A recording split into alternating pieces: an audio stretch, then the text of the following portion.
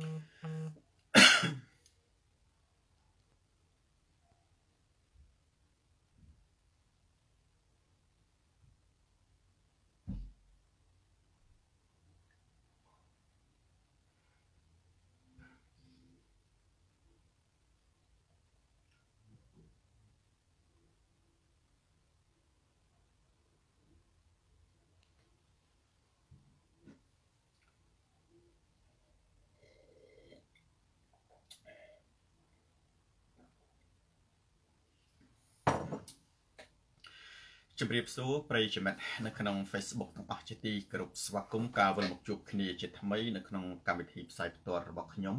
ម៉ោង9យប់ម៉ោងនៅក្នុងប្រទេសកម្ពុជា ស្វាគមន៍ប្រិយមិត្តនាំមុខគេថ្ងៃនេះគឺវីរៈបុត្រទីប្រឹក្សាស្នេហ៍រិនយុគីសុខាសៅវឌ្ឍនៈគង់សុកសានយ៉ាវបញ្ញា សុកណាផាន់ចម្រើនរដ្ឋាអក្សរជប៉ុនឬចិនបាទសែមយុទ្ធធីរីជូលីយ៉ែមលេងសុធីរីនីសេង យិនអ៊ុយយិតអ៊ុយសុំផាន់ឈីវចាំស៊ីថុលមន់មន់ខ្មងគ្រប់ប្រភេទបាទណាត់ណេតភីរ៉ាអាមីនិងសុំផាន់ជាបូណាសួនសាន អង្គរៈចិត្តស្មោះគីងហឿងរតនសម្បត្តិសរីម៉ៅរ៉សគង់បញ្ញាអឹមលឿមលៀនអ៊ុំបាទអូលីវើហ៊ូត សូរិយាស្រីព្រមទាំងប្រិយមិត្តជាច្រើនរូបដទៃទៀតដូចជាស៊ុយម៉ារ៉ូនិងជូឌីតៃអាម៉ាដាចតនីសន្តានាដែលកំពុងតាមដានទស្សនាការផ្សាយផ្ទាល់របស់ខ្ញុំនៅពេលនេះម៉ោង9យប់ម៉ោងនៅក្នុងប្រទេសកម្ពុជាខ្ញុំសូមបង្ហាញនៅរបៀបរយៈជជែកនៅថ្ងៃនេះដូចតទៅស៊ីសុកកុកទី1គឺបង្ហាញប្រធានបទទី2បកស្រាយប្រធានបទម៉ារីម៉ាទី3សំណួរចម្លើយនិងបញ្ហាផ្សេងៗ ប្រធានបទថ្ងៃនេះកែវរិទ្ធមាន2ដូចទម្លាប់មុននឹងឈានចូលទៅដល់ការបង្ហាញនៅប្រធានបទនិងគ្រឿងក្លែងទាំងពីរនេះប្រិយមិត្ត share វីដេអូនេះទៅកាន់ប្រិយមិត្តដទៃទៀតឆមេងហុងទូរទស្សន៍សូនតារាទៅដល់ទីណាការផ្លាស់ប្ដូរផ្នត់កំណត់ទៅដល់ទីនោះវ៉ាន់នីម៉ាត់ការផ្លាស់ប្ដូរផ្នត់កំណត់ទៅដល់ទីណាការយល់ដឹងទៅដល់ទីនោះការយល់ដឹងទៅដល់ទីណាហ៊ុនសែនចប់ទៅដល់ទីនោះស្ដាប់សូនតារាកើនប្រាជ្ញា ស្ដាប់ខឹមវាសនាកើតខួរក្បាល dis ស្ដាប់ហ៊ុនសែនកើតរោគចិត្ត ទូរទស្សន៍សូនតារាស្រាតខោជន់ផ្ដាច់ការផ្លាស់ប្ដូរផ្នែកកំណត់ប្រធានបទទី1រស្មីកកកែគឺជាកិច្ចនៃសំណួរចម្លើយដែលមានប្រិយមិត្តមួយរូបគាត់សួរខ្ញុំ ថាលោកគ្រូតើរដ្ឋមន្ត្រីទស្សនកិច្ចរបស់ហុងគ្រី មកប្រទេសកម្ពុជាផនស៊ីណា ជាកាដូឬគ្រោះបហន្តរាយខ្ញុំឆ្លើយថាកាដូ បាទអញ្ចឹងប្រិយមិត្តហេតុអ្វីពីព្រោះបន្តិចទៀតខ្ញុំនឹងលើកយកហេតុផលថាហេតុអ្វីបានខ្ញុំឆ្លើយយ៉ាងដូច្នោះប្រធានបទទី2គណៈបកប្រជាជន សមាជិកភាកច្រើនចូលដោយសារតែការបង្ខិតបង្ខំអាចារ្យតូចនិងការគម្រាមកំហែងអញ្ចឹងប្រិយមិត្តផលីផាឡាឡាគីមែន share វីដេអូនេះទៅកាន់ប្រិយមិត្តដទៃទៀតទូរទស្សន៍សូនតារាស្រាតខោជន់ផ្ដាច់ការ ផ្លាស់ប្ដូរផ្នត់កំណត់ថ្ងៃនេះមានមេស៊ីមមានគ្រឿងក្លែមច្រើនបន្តិចបាទបតៃខ្លីៗទេ Bonirus គ្រឿងក្លែម3ច្រើនទី1យោងតាមអាស៊ីសេរីដែលដកស្រង់សម្ដីរបស់ប្រជាជន នៅត្បូងឃ្មុំ ថាវៀតណាមធ្វើស្រែលើដីខ្មែរហើយដីនោះ ជាដីស្រែដែលគាត់ធ្លាប់តែធ្វើតពូជ រាប់រយរាប់ពាន់ចំនួនមកហើយយើងអាចថាអញ្ចឹងចុះថារាប់រយចំនួនមកហើយកឹមសួរក្រណាត់តាឥឡូវនេះมันអាចធ្វើបានទេក្រោយពីការបោះបង្គោលព្រំដែនហើយខ្មែរត្រូវបោះចោលដីស្រែដែលក្រោយពីវ៉ាកំហុងទៅខេត្តត្បូងឃ្មុំទៅបញ្ជាក់ប្រាប់ថាអត់មានការបាត់បង់ទេដែលសនតារានិយាយថាវ៉ាកំហុងមិនមែនទៅត្បូងឃ្មុំ ដើម្បីទៅសួរនាំប្រជាជនអំពីរឿងបាត់ដីទេ គឺទៅគម្រាមអាណានិយាយបាត់ដីអញ្ចាប់ដាក់គុកអានេះបើយោងតាមវិទ្យុអាស៊ីសេរីយោងតាមឯកឧត្តមអ៊ុំសំអានណែដែលជាអ្នកប្រធានគណៈកម្មការព្រំដែនស៊ីនីខ្មែររបស់គណៈបកសង្គ្រោះជាតិគាត់ថាអ្នកដែលការពារដីជាប់គុកអ្នកដែលកាត់ដីឲ្យបរទេសឡើងបនស័កអាតែនេះខ្ញុំ លើកយកភ្ជាប់បយោងតាមអាស៊ីសេរីនិងសម្ដីរបស់អេដាមអ៊ុំសំអានបូរ៉ែនសូគឺចង់សម្ដៅទៅលើរងឈុនបងប្អូនពិចារណា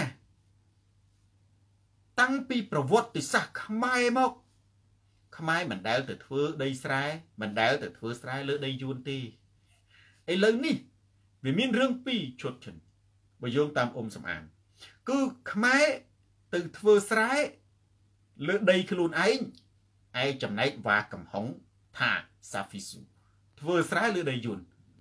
ដីដែលយើងមានរាប់សិបចំនួនរាប់សិបដូនតាមកហើយនៅក្រោមការដឹកនាំប្រកបដោយកតិបណ្ឌិត របស់សម្ដេចអគ្គមហាសេនាបតីតេជោហ៊ុនសែនដីស្រែខ្មែរមនុស្សកំសត់គឺត្រូវយួនជាអ្នកធ្វើហើយខ្មែរឥឡូវនេះដោកក្រឡាហុំយុទ្ធរាជមិនអាចធ្វើស្រែបានទេណែ អានឹងចំណុចមួយអានេះបើយោងតាមវិទ្យុអស៊ីសេរីនិងអេដាមអ៊ុំសំអាននិងយោងតាមវ៉ាកំផុងឥឡូវខ្ញុំជាទស្សនៈរបស់ខ្ញុំហើយណែក្រែងនេះណានិតិវាគឺជាការពិតសម្រាប់កៅភ្នែករបស់ខ្ញុំ នៅក្នុងមួយជីវិតរបស់ខ្ញុំនេះខ្ញុំសិក្សាច្រើនហើយប្រវត្តិសាស្ត្រ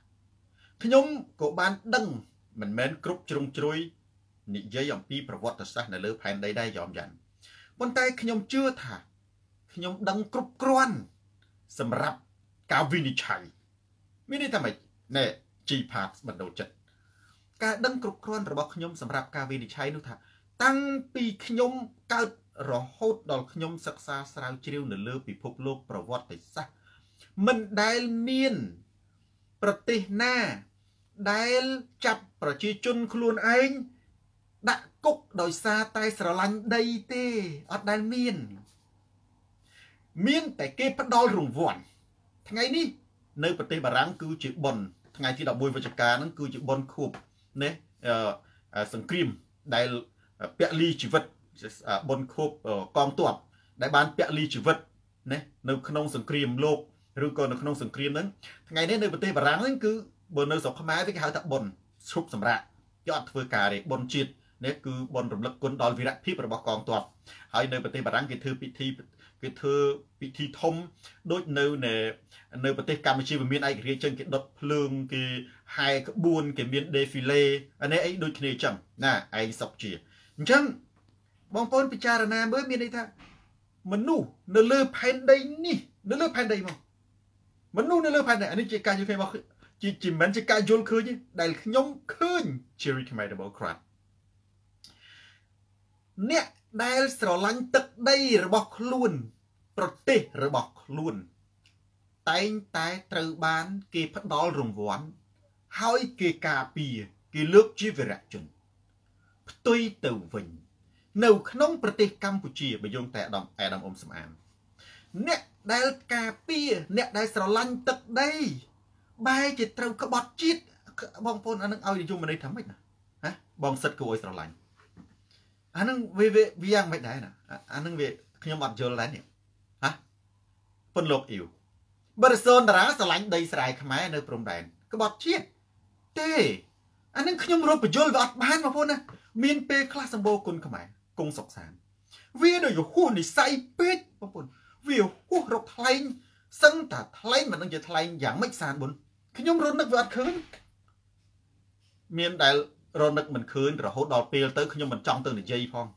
វាហួសមិននឹងនិយាយថាម៉េចបងឥឡូវយើងបងប្អូនខ្ញុំឲ្យដើររមើលនៅក្នុងពិភពលោកមនុស្សដែលស្រឡាញ់ទឹកដីស្រឡាញ់ប្រទេសជាតិណាស្រឡាញ់វប្បធម៌ស្រឡាញ់ជាតិរបស់ខ្លួនណាបើសុនជាស្លាប់អានឹងរដ្ឋនាយករដ្ឋមន្ត្រីឬក៏ប្រធានាធិបតីគេទៅបនសពផងណែប៉ាងបនសូន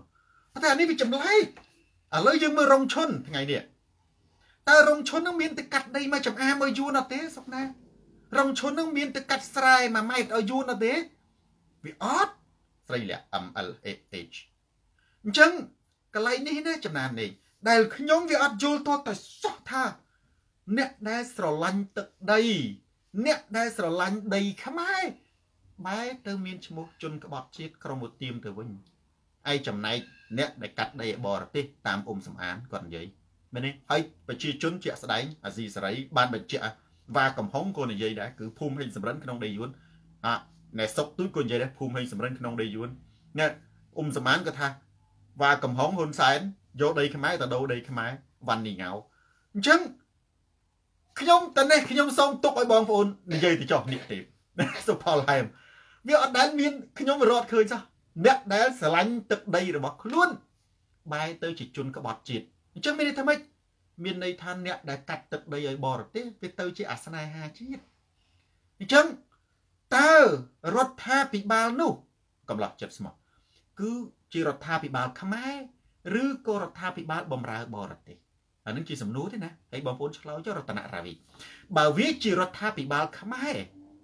ហេតុអ្វីបានជាខ្មែរស្រឡាញ់ទឹកដីខ្មែរជាប់គុកហើយខ្មែរដែលកាត់ដីឲ្យបរទេស ថាភូមិខ្មែរនៅក្នុងដីបរទឹកដីបរទេស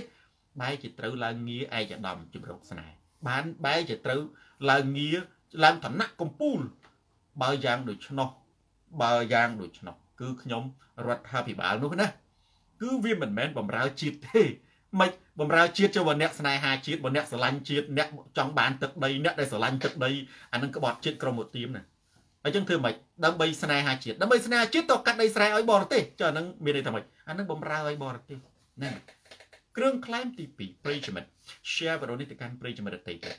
ទូរទស្សន៍សូនតារាស្រាតខោជន់ផ្ដាច់ការនីវហ៊ុតផ្លាស់ប្ដូរផ្នត់កំណត់បាទងួនត្រៃហើយម្សិលមិញលោកជំទាវមួសុកហួរនិងអាដាមអេងឆៃអៀងបាន ទៅស្ថានទូតប្រជាណាចក្រកម្ពុជានៅអាមេរិកសំវិបុលមែនដើម្បីដាក់លិខិតសុំសុពលភាពលិខិតឆ្លងដែនលិខិតឆ្លងដែនសំខាន់ណាស់បងប្អូននៅសុកខ្មែរសបោសបោរឿងកំ pl ៃកំ pl ៃបងប្អូនណាសបោរឿងដល់តែពេលយូរយូរទៅគួយសុភាពវាសបោរឿងនិយាយថាម៉េចអាសបោរឿងហួសនិយាយហួសនិយាយគឺដឹងនិយាយថាម៉េចបងប្អូនណា ដូចខ្ញុំនិយាយអាគ្រឿងខ្លែងទី1មិញណាអ្នកដែលស្រឡាញ់ទឹកដីខ្មែរក្បត់ជាតិឯងក្បត់ជាតិឲ្យមិនដោយសារតែឯងស្រឡាញ់ទឹកដីខ្មែរព្រោះឯង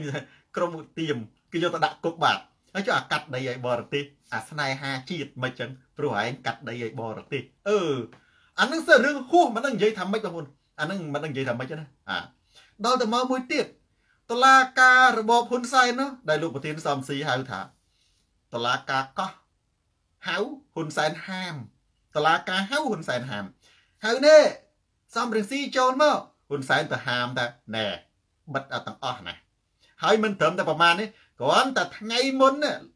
បែរជា2 3ថ្ងៃមុនណាលោកប្រធានសំរងស៊ីប្រកាសមាតុភូមិនិវត្តទី2សៅសុខានោះកោះប្រជុំទាំងយប់កៅសៅសុខានោះអូរៀកអាចរៀកនោមគ្រាន់តែមិនទាន់មាតុភូមិនិវត្តទេ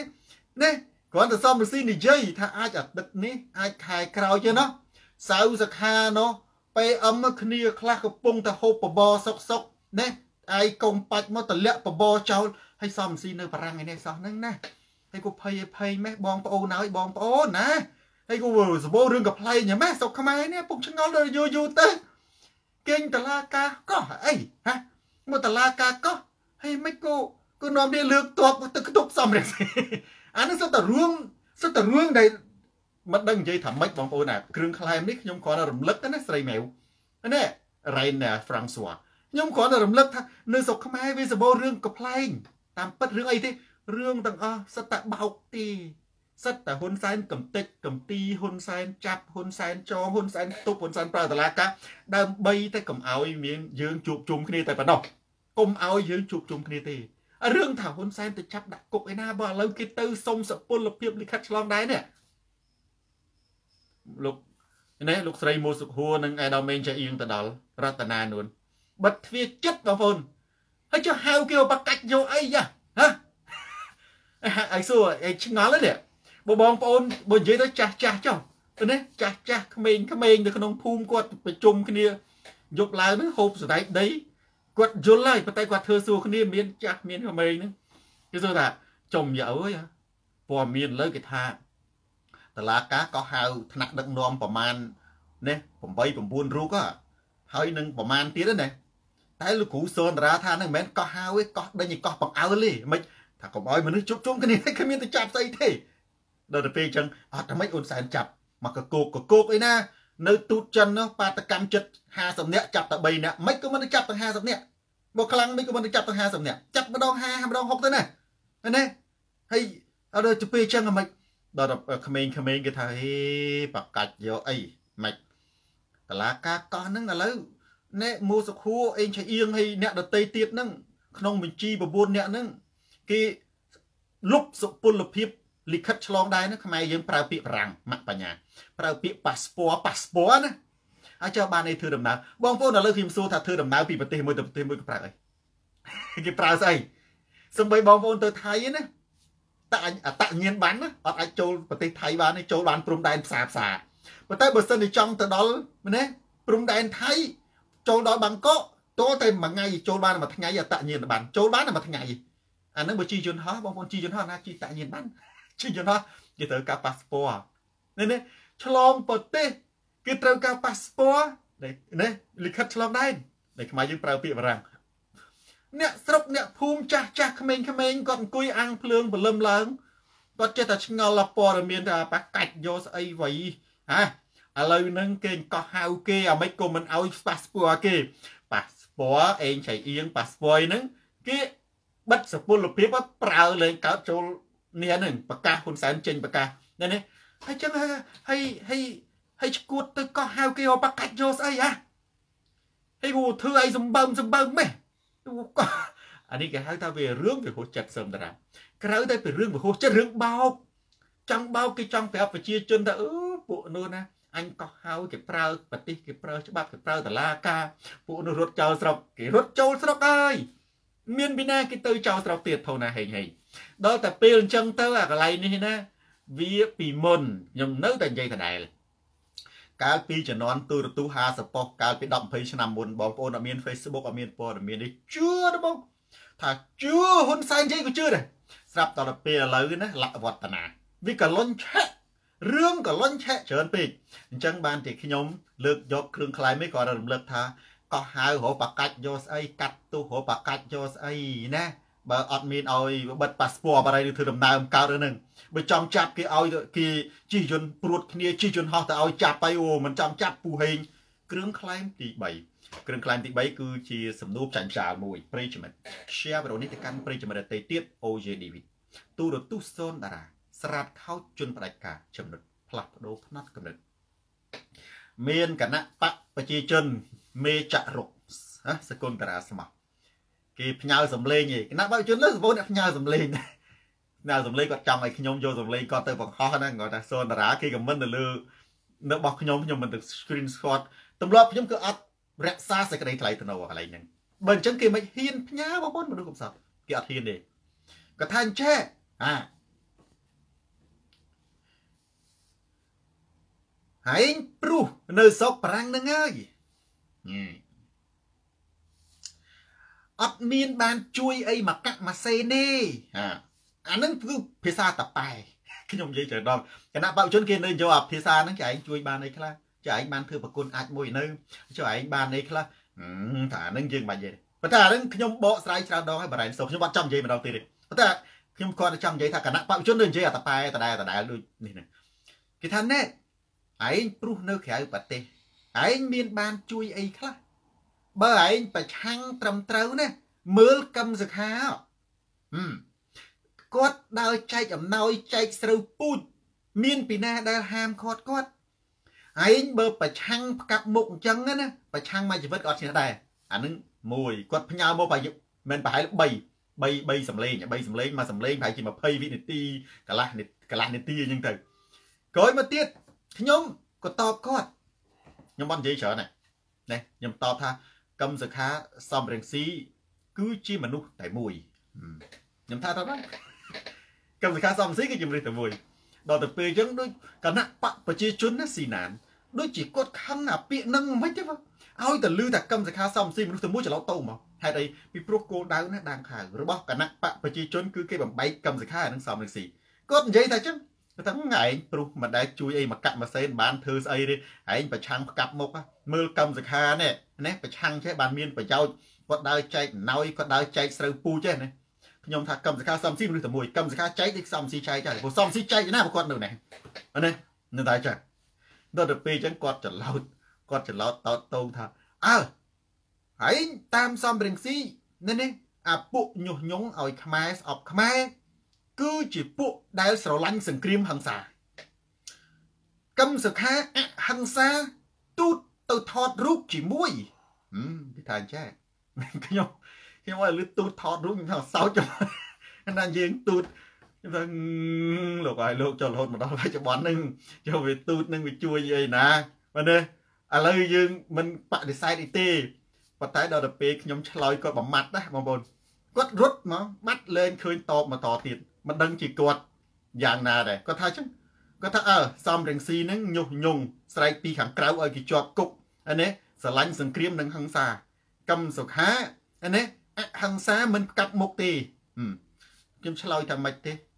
ខ្ញុំថាមានអាណាអហិង្សាជាងលើឡៃស្រេងទៀតបងប្អូនលើឡៃស្រេងអហិង្សាជាងគេហើយឥឡូវសួរថាតើមានអ្នកដើរតាមលើឡៃស្រេងប្រហែលអ្នក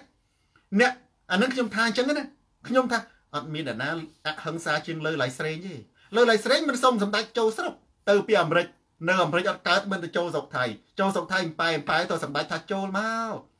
ហើយខ្ញុំបន្ថែមទៀតថាអ្នកដែលអហិង្សាជាងគេបំផុតណាគឺញឹកប៊ុនឆៃហើយនឹងស្ដេចក្រុងព្រះបើប្រៀបធៀបលោកប្រធានកម្មសខាជាមួយនឹងលើឡៃស្រេងណាលោកប្រធានកម្មសខាអត់មានអីអហិង្សាជាងលើឡៃស្រេងលើឡៃស្រេងកំពូលនៃអហិង្សាបើយើងយករង្វាស់អហិង្សាដើម្បីជាកត្តាគុណភាព នៃការផ្លាស់ប្ដូរជាគុណសម្បត្តិដ៏ធំធេងអញ្ចឹងមិនក៏លើឡៃស្រីនេះមិនផ្លាស់ប្ដូរប្រទេសតាំងពីយូរហើយអ្នកបងប្អូនលើឡៃស្រីអហិង្សាជាងលោកប្រធានកម្មសិក្ខាណាពេលអញ្ចឹងរត់បាត់បងប្អូនអត់ទៅណាហើយខ្ញុំនិយាយនេះគឺពិត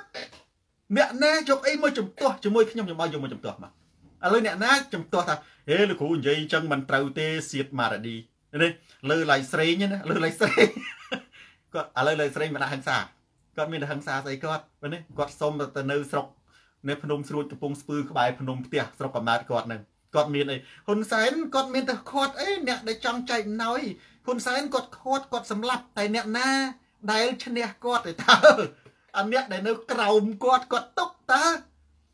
ហ៊ុនសែនត្រូវការតែអ្នកកំដោប្រជាធិបតេយ្យទេអត់ត្រូវការអ្នកឈ្នះទេហើយយើងបើយើងឈ្នះបើយើងឈ្នះគាត់សម្លាប់ចោលបើយើងគ្រាន់តែមកចង់ចែកណយបើយើងគ្រាន់តែមកចង់កំដោហ៊ុនសែនហ៊ុនសែនគាត់មានថាអីគាត់អរគុណណា អត់លុយគាត់ជួយលុយទៅសម្ងាត់ទៀតឧទាហរណ៍លូលៃស្រេងគាត់ដាក់ហឹងសាគាត់អត់មានលុយចែកណោយទេមែនទេអត់មានលុយចែកណោយទេអញ្ចឹងមិនទៅហ៊ុនសែននៅឃើញលូលៃស្រេងឈប់ជំទាស់ឈប់ប្រឆាំងឈប់រករឿងហ៊ុនសែនឈប់ជេរឈប់រិះគន់ឈប់ណែធ្វើទុកបុកម្នេញរបបហ៊ុនសែនកំពុងតែរៀកនោមផងហ្នឹងទៅជួយឲ្យឃើញសុកឃើញសន្តិភាពឃើញមលុបលូលៃស្រេងដើរចែកណោយណាខ្វះលុយហ៊ុនសែនទូសាប់មើលមើលលោកតាលូលៃស្រេងបាទសម្ដេចមិនមកហើយ ចែកអំណោយចែកស្រូវពូជអើចែកប្រមាណចែក200ណែ200បាវទៅដល់ប្រជាជននៅខេត្តកំពង់ស្ពឺអេភ្នំស្រួចមិន200បាវចែកមិនក្រន់តាមប្រភពព័ត៌មានមកគេថា3000បាវខ្ញុំចង់ចែក5000បាវសម្ដេចគ្រាន់តែវាអត់លុយសម្ដេចថាអីទេជំនួយការខ្ញុំនេះកុំទៅមាត់កុំទៅក ឥឡូវហ្នឹងហ៊ុនសែនគាត់និយាយគាត់ថតហើយគាត់ថតទុកតែគាត់បញ្ចេញគាត់បញ្ចេញនៅពេលណាដែលគាត់ប្រើអត់បាននៅពេលដែលអ្នកនោះគាត់ប្រើអត់បានណាពិភពនៃសុភមង្គលអាហ្នឹងគាត់ចេញសារបែកធ្លាយសារបែកធ្លាយទាំងឡាយណាដែលហ៊ុនសែនបញ្ចេញ គឺជាគុណសម្បត្តិរបស់យើង បើហ៊ុនសែននៅប្រើបានហ៊ុនសែនអត់បញ្ចេញសារបែកធ្លាយទេបើហ៊ុនសែនប្រើលែងបានចំផាត់សង្គ្រោះជាតិហ៊ុនសែនបញ្ចេញសារបែកធ្លាយអានឹងហេតុគេបងប្អូន ខ្ញុំលើកឧទាហរណ៍មួយរឿងសារបែកធ្លាយដូចប្តីប្រពន្ធនេះសង្សារចុះសែមយុទ្ធរី កាលបើស្រឡាញ់គ្នាអត់ដែលជាបែកធ្លាយសង្សារណាម៉ៃខឿនកាលបើស្រឡាញ់គ្នា គឺបងមើលចុះអូនមើលចុះព្រះអាទិត្យលិចមេឃបែកជាស្រអាប់ចាញ់សម្រាប់អូនហើយ ស្រាប់អានឹងខ្ញុំនិយាយតាមគេទេស្រាប់តែក្រោយមកទៀតមកបងមើលចុះ អូនមើលចុះអានេះស្រីម្ដងស្រីថាបងមើលចុះបងមើលចុះមេឃព្រះអាទិត្យចិត្តលិចហើយមេឃចាប់ផ្ដើមស្រអាប់ហើយបកាច់យកមេឃរោភ្លៀងណាបញ្ញាប់ចូលផ្ទះភ្លៀងនៅតែងកំណាប់អីទៀតមុខស្អុយវេះណែអានឹងណាខ្ញុំគ្រាន់តែជម្រាបទៅ បើសិនជាខ្វះលុយណាហ៊ុនសែនគាត់ឲ្យទៀតហ៎អញ្ចឹងអានឹងដែលខ្ញុំថាបើកណាហ៊ុនសែនឲ្យហ៊ុនសែនថតសារ បើកណាសារនឹងបែកធ្លាយមានន័យថាយើងជោគជ័យហើយបើហ៊ុនសែនរំលាយសារសន្ទនាជាមួយកម្មសខាមានន័យថាឧទាហរណ៍ណាឧទាហរណ៍ថាមួយលឺឡៃស្រេងចុះបើហ៊ុនសែនរំលាយសារជាមួយលឺឡៃស្រេងកាលីអានឹងមានតែយើងជោគជ័យបើហ៊ុនសែនមិនរំលាយសារហ៊ុនសែននៅប្រើដែលខ្ញុំប្រៀបធៀបថាដូចសង្សារនឹងប្តីប្រពន្ធបងប្អូនសង្សារចុះប្តីប្រពន្ធយើងថាបើកាលនៅស្រឡាញ់គ្នាណាថាស្អីក៏អត់ទេគប់មេឃសតុំចិត្តភ្លៀងក៏ចាញ់សម្រាប់អូនដែរ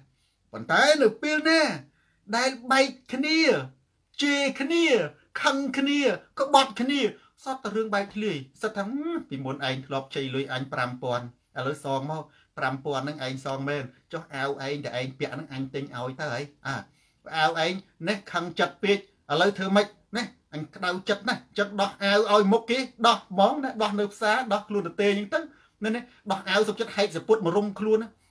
ដល់អញ្ចឹងដោះអាវទៅចុះស្បែកជើងឯងហ្នឹងស្បែកជើងអញទិញឲ្យទៅហើយហើយទៅទៅអញ្ចឹងទៅ live Facebook និយាយការពាររៀងខ្លួនត្រូវគ្នា តាមពិតកំកាន់ជើងមកខាងមកខាងបងប្អូនបើកាលណាហ៊ុនសែនទម្លាយសារបែកធ្លាយជាមួយនរណាក៏ដោយគឺជាជោគជ័យរបស់យើងកុំទៅចាញ់បោកហ៊ុនសែនមានន័យថាហ៊ុនសែនប្រើអ្នកនោះបានអ្នកខ្លះឃើញហ៊ុនសែនទម្លាយសារបែកធ្លាយជាមួយលោកប្រធានកម្មសខានាំគ្នាទៅសង្ស័យទៅខឹងកម្មសខាខឹងអីត្រូវទៅសើកម្មសខា បើកម្មសខាហ៊ុនសែនប្រើបានគាត់មិនទម្លាយបងប្អូនអានឹងវាអញ្ចឹងដូចសង្សារមនុស្សឆ្លោះគ្នាមនុស្សតើឆ្លោះគ្នាមិនហែកគេគ្នាបើថានៅត្រូវគ្នាគ្មានតែហែកគេអីទេអញ្ចឹងបានខ្ញុំជម្រាបជូនបងប្អូន CVP ដំណើររឿងហ្នឹងគាត់ថាខ្ញុំសូនតារាហ្នឹងព្រុសក្រៅស្រុកដល់មានបានជួយមករៀលទេលោកប្រធានកម្មសខានៅក្នុងស្រុកចែកណៅចែកស្រូវពូជខ្ញុំថាកម្មសខាសំស៊ីតែមួយចឡោតតោតតងដាក់ខ្ញុំគាត់ថាអើ កម្មសខាសំស៊ីតែមួយអីសំស៊ីនឹងញុះញង់ហឹង្សាស្រឡាញ់សង្គ្រាមកម្មសខាអហិង្សាខ្ញុំថាមានណាអហិង្សាជាងលូឡៃស្រេងទេបើលោកអបើអហិង្សាណា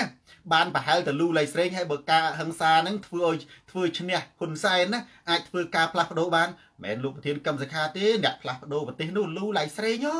បានជាអ្នកផ្លាស់ប្ដូរប្រទេសយ៉ាងពិតប្រាកដ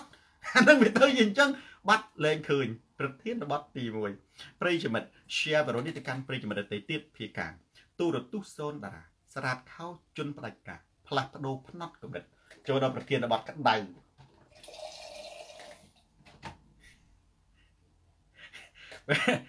បាទសូមប្រធានបទក្តៅនេះគឺសោចមុនហើយតែបងប្អូនកុំសោចកុំនាំអាចសោចណាដាវីបាទនឹងអិនឡៅពីបើកណាតាហ៊ាននាំអាចសោចគ្រូនិយាយមិនកើតទេបងប្អូនយើងគ្រូនិយាយច្រើនតែសោចខ្ញុំដូចនិយាយធម្មតាតើ ហើយបងប្អូនចេះតែនាំគ្នាសោចចេះនាំអាចណាមានប្រិយមិត្តម្នាក់ដែលគាត់ចូលមើលគាត់សោចដែរហ្នឹងទៅគាត់សោចហើយក្នុងសារគាត់សរសេរវិញណាបើតែខ្ញុំឆ្លើយម៉ាត់ម៉ាត់នឹងឯងបើតែក្នុងការផ្សាយផ្ទាល់ខ្ញុំយកមកវិញញែកអាច័ន្ទប្រាថ្នាកម្មចន្ទរារមគាត់ថាលោកគ្រូតើទស្សនកិច្ចរដ្ឋមន្ត្រី ហុងគ្រី នៅកម្ពុជាសាយសុខាលី ជាកាដូឬជាមហន្តរាយខ្ញុំឆ្លើយថាកាដូខ្ញុំអត់បកស្រាយទេហើយគាត់សោចបែបគាត់នឹកចម្លើយរបស់គាត់បែបគាត់គិតខុសប៉ាងប៊ុនសុន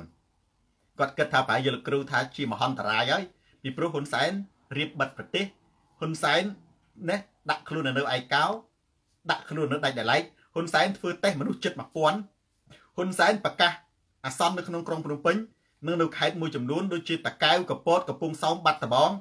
បាទណាប្រទីមិនជ័យហ៊ុនសែនបើយើងទៅប្រទេសកំពុងអាសន្នគាត់ស៊ីណាកៅដល់រំពឹងថាអីចុះហេតុអីបានជាលោកគ្រូថាវាទៅជាកាដូទៅវិញឥឡូវមុននឹងខ្ញុំឆ្លើយហេតុផលនឹងតារាវុធខ្ញុំឆ្លើយខ្លីបងប្អូនមានអ្នកគាត់ចូលមើលហើយទៅនោះបាទ មានខ្ញុំឆ្លើយមួយម៉ាត់ចឹងមកគាត់ថាលោកគ្រូតើដំណើរទស្សនកិច្ចរបស់ហុងគ្រី នៅកម្ពុជាជារីខ្មែរ Democrats ជាកាដូឬគ្រោះមហន្តរាយខ្ញុំថាកាដូហេតុអីនិយាយដំណើររឿងមុននឹងខ្ញុំឆ្លើយថាហេតុអីសម្ដេចតេជោបានហៅដំណើរទស្សនកិច្ចហុងគ្រីមកកម្ពុជា គឺព្រឹត្តិការណ៍ 3វិច្ឆិកាសម្ដេចបានបំភ្លឺថា មិនចង់ហៅថាព្រឹត្តិការណ៍ទស្សនកិច្ចនៃរដ្ឋមន្ត្រីហុងគ្រីព្រោះខ្លាចប៉ះពាល់មិត្តភាព ប្រទេសទាំងពីរកុំឲ្យមានណែការអន់ចិត្តប៉ះពាល់សតិអារម្មណ៍ដូច្នេះសម្ដេចបានហៅទស្សនកិច្ចនោះថាណែ ជាព្រឹត្តិការណ៍3វិច្ឆិកាហើយព្រឹត្តិការណ៍3វិច្ឆិកានេះសម្ដេចបានប្រកាសឲ្យមានការធ្វើដាក់ខ្លួននៅដាច់ដោយឡែកការធ្វើតេស្តនិងការតាមដានព្រមទាំងវិធានការមួយចំនួនពាក់ព័ន្ធរហូតដល់បិទសាលាបិទខារ៉ាអូខេរាំងកាសាលនានាផានីលឹមដារាវុធអញ្ចឹងសំណួរសួរវិញអាអានេះគឺសំណួរសួរវិញហេតុអ្វី បានជាសនតារាថាកាដូសំណាងមកចម្លើយនិយាយឲ្យចំថាតើដំណើរទស្សនកិច្ចរបស់ហុងគ្រីជាកាដូឬជាមហន្តរាយចម្លើយរបស់សូនតារាថាកាដូសម្រាប់របបហ៊ុនសែននិងហ៊ុនសែនវាមិនមែនជាកាដូសម្រាប់ប្រជាជនកម្ពុជាទេអានឹងចេះ ហើយចម្លើយច្បាស់ណាវាជាកាដូសម្រាប់ហ៊ុនសែននិងរបបហ៊ុនសែននិងមន្ត្រីរបស់ហ៊ុនសែនណែហេតុអ្វីពីព្រោះធម្មតាពាក្យថាកាដូវាទាល់តែមនុស្សទទួលបងប្អូន បើសិនជាគេឲ្យរបស់ស្អុយទៅបងប្អូន ហើយគេជេរបចៅបងប្អូនតើបងប្អូនទទួលទេអត់ បើសិនជាគេឲ្យរបស់ល្អក៏ដោយណាឲ្យអាវយឺតមួយជាកាដូគេថានេះហែងម៉ាយកដល់អញឲ្យអានេះមួយទុកពាក់គ្រាន់តែណាចូលប្រគុណហើយថ្ងៃក្រោយណាហែងកុំលហេងលហាមចាំទៀតហែងយកអាវនឹងហើយពាក់ឲ្យអញឃើញអញថត Facebook ដាក់ជាគំរូហើយហែងត្រូវអរគុណលុតឆ្គងស្វែងគុំអញសួរថាយើងយកទេអាហ្នឹងអត់ទេអាហ្នឹងគេអត់ហៅថាកាដូទេ គេអត់ហៅថាកាដូទេគេហៅថាការប្រមាថមើងងាយគេហៅថាមហន្តរាយចុះហ៊ុនសែនហ៊ុនសែនទទួលហ៊ុនសែនទទួលស្វាគមន៍រដ្ឋមន្ត្រីការបរទេសហុងគ្រី ដោយមោទនភាពបើកាលណាទទួលដោយមោទនភាពនេះកូននាគទេពអាហ្នឹងឯងមិនជាកាដូឥឡូវបើអត់កាដូមានហ៊ុនសែនទទួលគ្រាន់តែថា រឿងធ្វេសប្រហែសរបស់ហ៊ុនសែនដែលបណ្ដាលឲ្យបែកនៅមេរោគកូវីដ -19 ពេញទូទាំងប្រទេសកម្ពុជាអានេះគឺជាការធ្វេសប្រហែសទេរឿងកាដូទី1គឺហ៊ុនសែនទទួលបដិសន្តារកិច្ចស្វាគមន៍ហ៊ុនសែនចង់យកមុខចង់អួតចង់សម្បើម ក្នុងអំឡុងពេលប្រទេស កំពុងតែមានវិបត្តិហើយរបបរបស់គាត់កំពុងតែញោមញីដោយភាពផុយស្រួយរង្គោះរង្គើ ហ៊ុនសែនគាត់ចូលចិត្តអួតគាត់ចូលចិត្តជួបបរទេសនេះអាលីសាម៉ាកាគាត់ចូលចិត្តថតរូបជាមួយអ្នកនេះថាំរបបអញនៅតែរឹងមាំណែកម្ពុជាកុំអស់សង្ឃឹមឃើញទេពីណាថាគេអត់ទទួលស្គាល់មើលហុងរីខំទៅទទួលបដិសន្តារកិច្ចខំទៅស្វាគមន៍ខំទៅឈរទឹមខំទៅដូដូហត្ថលេខាដូកិច្ចព្រមព្រៀងគ្នាចាប់ដៃគ្នាម្ដងមួយម្ដងមួយ ហើយទូរទស្សន៍ទាំងអស់ថតទំព័រ Facebook របស់ សម្ដេចតេជោថតខ្ញុំដាក់សំណួរសួរបងប្អូនវិញតើវាជាកាដូឬក៏ជាមហន្តរាយបើមហន្តរាយហ៊ុនសែនមិនទទួលកាដូទី1ហ៊ុនសែនទទួលហើយហ៊ុនសែនបដិសន្តារកិច្ចយ៉ាងល្អប៉ុន្តែវាជាការធ្វេសប្រហែសទេដល់លីអុយរឿងទី2ហេតុអ្វីបានជាលោកគ្រូនិយាយថា វាជាកាដូសម្រាប់ហ៊ុនសែននិង ណែរបបហ៊ុនសែនបងប្អូនអំណោយរបស់បិសាចគឺអ្វីអំណោយរបស់ចៅគឺអីចៅអានេះនិយាយបែបនៃធៀបអំណោយរបស់ចៅអលីសាម៉ាកាពីងវែង KPS គឺប្លន់បានសម្រាប់មនុស្សអត់ខ្វល់នេះជីវិតមនុស្សរបួសអត់ខ្វល់បើមេចៅបញ្ជូនកូនចៅឲ្យទៅប្លន់បើប្លន់មិនបាន អានឹងគឺជាណែមហន្តរាយរបស់ចៅអំណោយរបស់ចៅមានន័យថាចេះប្លន់បាននិងលួចបាន មានន័យថាសេចក្តីវិនិច្ឆ័យមហន្តរាយរបស់ជនរងគ្រោះរបស់ប្រជាជន គឺជាជោគជ័យរបស់ចៅមិនអញ្ចឹងអានឹងខ្ញុំនិយាយមានអីខុសបងប្អូននប់ឈៀនចៅប្លន់សម្រាប់មនុស្សប្លន់ម៉ូតូ មនុស្សនៅតាមផ្លូវបើចៅប្លន់បាន គឺជាជោគជ័យមានន័យថាមនុស្សស្លាប់បាត់បង់ទ្រព្យវិនិច្ឆ័យមហន្តរាយរបស់ជនរងគ្រោះមហន្តរាយរបស់ប្រជាជន គឺជាជោគជ័យជារង្វាន់ជាកាដូរបស់ចៅដូចគ្នារង្វាន់បុរាណសូរង្វាន់របស់ជនផ្ដាច់ការ កាដូរបស់ជនផ្ដាច់ការគឺជាមហន្តរាយរបស់ប្រជាជនណែអានេះវាត្រឡប់មកជា Tiger Forest អញ្ចឹងហើយបានជាបងប្អូនភាពជោគជ័យរបស់ជនផ្ដាច់ការគឺអ្វីគឺសម្លាប់បាន គឺបង្ក្រាបបាន គឺកំទេចបានហេតុអីយើងមិនមើលសាររបស់សម្ដេចតេជោគាត់និយាយថាម៉េចអញកំទេចមែនទេត្រូវកំទេចវាឲ្យអស់ណាអញកំទេចកុំអីក្តារមកឈូសបើអញដឹងតន់កុំអីបនខ្មោច ភាសាទាំងអស់នេះណាអញកំទេចមានន័យថាជោគជ័យរបស់ហ៊ុនសែនគឺកំទេចកំទេចអីកំទេចជីវិតជីវិតដល់ណាជីវិតពលរដ្ឋជនអ្នកណាកំទេចហ៊ុនសែនបើហ៊ុនសែនកំទេចបានសេចក្តីវេទនាណែមហន្តរាយអាយុជីវិតទ្រព្យសម្បត្តិរបស់ប្រជាជន គឺជាសេចក្តីជោគជ័យរបស់ហ៊ុនសែនដូច្នេះការដែលហ៊ុនសែនប្រមាថ ការដែលហ៊ុនសែនប្រមាថមើងងាយកូវីដ -19 ការដែលហ៊ុនសែនធ្វេសប្រហែសការដែលហ៊ុនសែនចង់យកមុខការដែលហ៊ុនសែនចង់អួតការដែលហ៊ុនសែនមិនទទួលស្គាល់ការពិតចង់យកហុងគ្រីនឹងមកធ្វើជានេះអួតគេអួតឯងថាបានប្រទេសនេះប្រទេសនោះទទួលស្គាល់ថាបានជួបនៅនេះជួបនៅនោះណាអានឹងអំនួតរបស់ហ៊ុនសែនការបោកប្រាស់របស់ហ៊ុនសែននិងការធ្វេសប្រហែសរបស់ហ៊ុនសែនដែលទទួលយកនៅមេរោគនឹងហើយ ជាកាដូរបស់ជនផ្ដាច់ការប៉ុន្តែជាវិនិស្សកម្មរបស់ប្រជាជន ដែលខ្ញុំប្រៀបធៀបទៅនឹងចៅបងប្អូននិយាយឲ្យខ្លីទៅជោគជ័យរបស់ចៅគឺជាវិនិស្សកម្មនិងជាមហន្តរាយរបស់របស់ជនរងគ្រោះរបស់ប្រជាជនជោគជ័យរបស់ជនផ្ដាច់ការគឺជាមហន្តរាយរបស់រាជអានឹងហើយដែលខ្ញុំឆ្លើយថាតើហ៊ុនសែនណា ដែលទទួលដំណើរទស្សនកិច្ចរបស់ហុងគ្រី គឺជាមហន្តរាយឬជាកដោគឺជាកដោសម្រាប់ហ៊ុនសែនគឺជាកដោសម្រាប់ជនផ្ដាច់ការ ហើយកដោរៀងរាល់ទាំងអស់ជោគជ័យនិងកដោរបស់ជនផ្ដាច់ការ គឺជាមហន្តរាយរបស់រាជមិនចឹងជោគជ័យរបស់អ្នកប្រជាធិបតេយ្យគឺជាសេរីភាពរបស់រាជជោគជ័យរបស់ឃាតករ គឺជាសេចក្តីស្លាប់របស់ប្រជាពលរដ្ឋជោគជ័យរបស់ចៅគឺជាសេចក្តីស្លាប់របស់ជនរងគ្រោះជោគជ័យរបស់ជនផ្ដាច់ការ គឺជាសេចក្តីវិនិច្ឆ័យហន្តរាយរបស់ប្រជាជននិងប្រទេសជាតិអានឹងគឺវាអញ្ចឹងឯងណាមួយទៀតប្រិយមិត្តឥឡូវនេះកាលពីម្សិលមិញ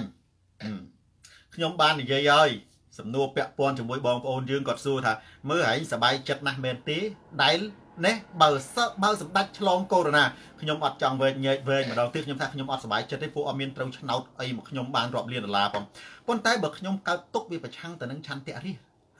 ខ្ញុំធ្វើតែធម្មតាហ្នឹងមិនម៉េចបងប្អូនឆន្ទៈប្រជាជនបច្ចុប្បន្ននេះសម្ដេចគាត់បានសារភាពតាមរយៈរំលាយគណៈបកសង្គ្រោះជាតិមានន័យថាប្រជាជនស្អប់គាត់ច្រើន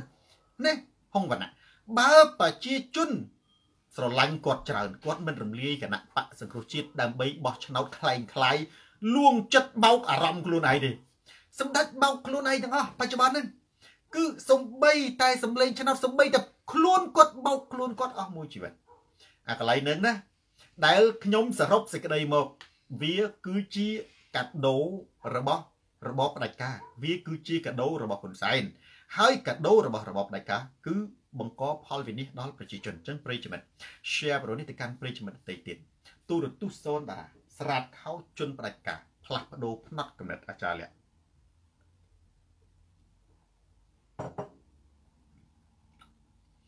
បាទអរិទ្ធស័កប្រធានបទទី2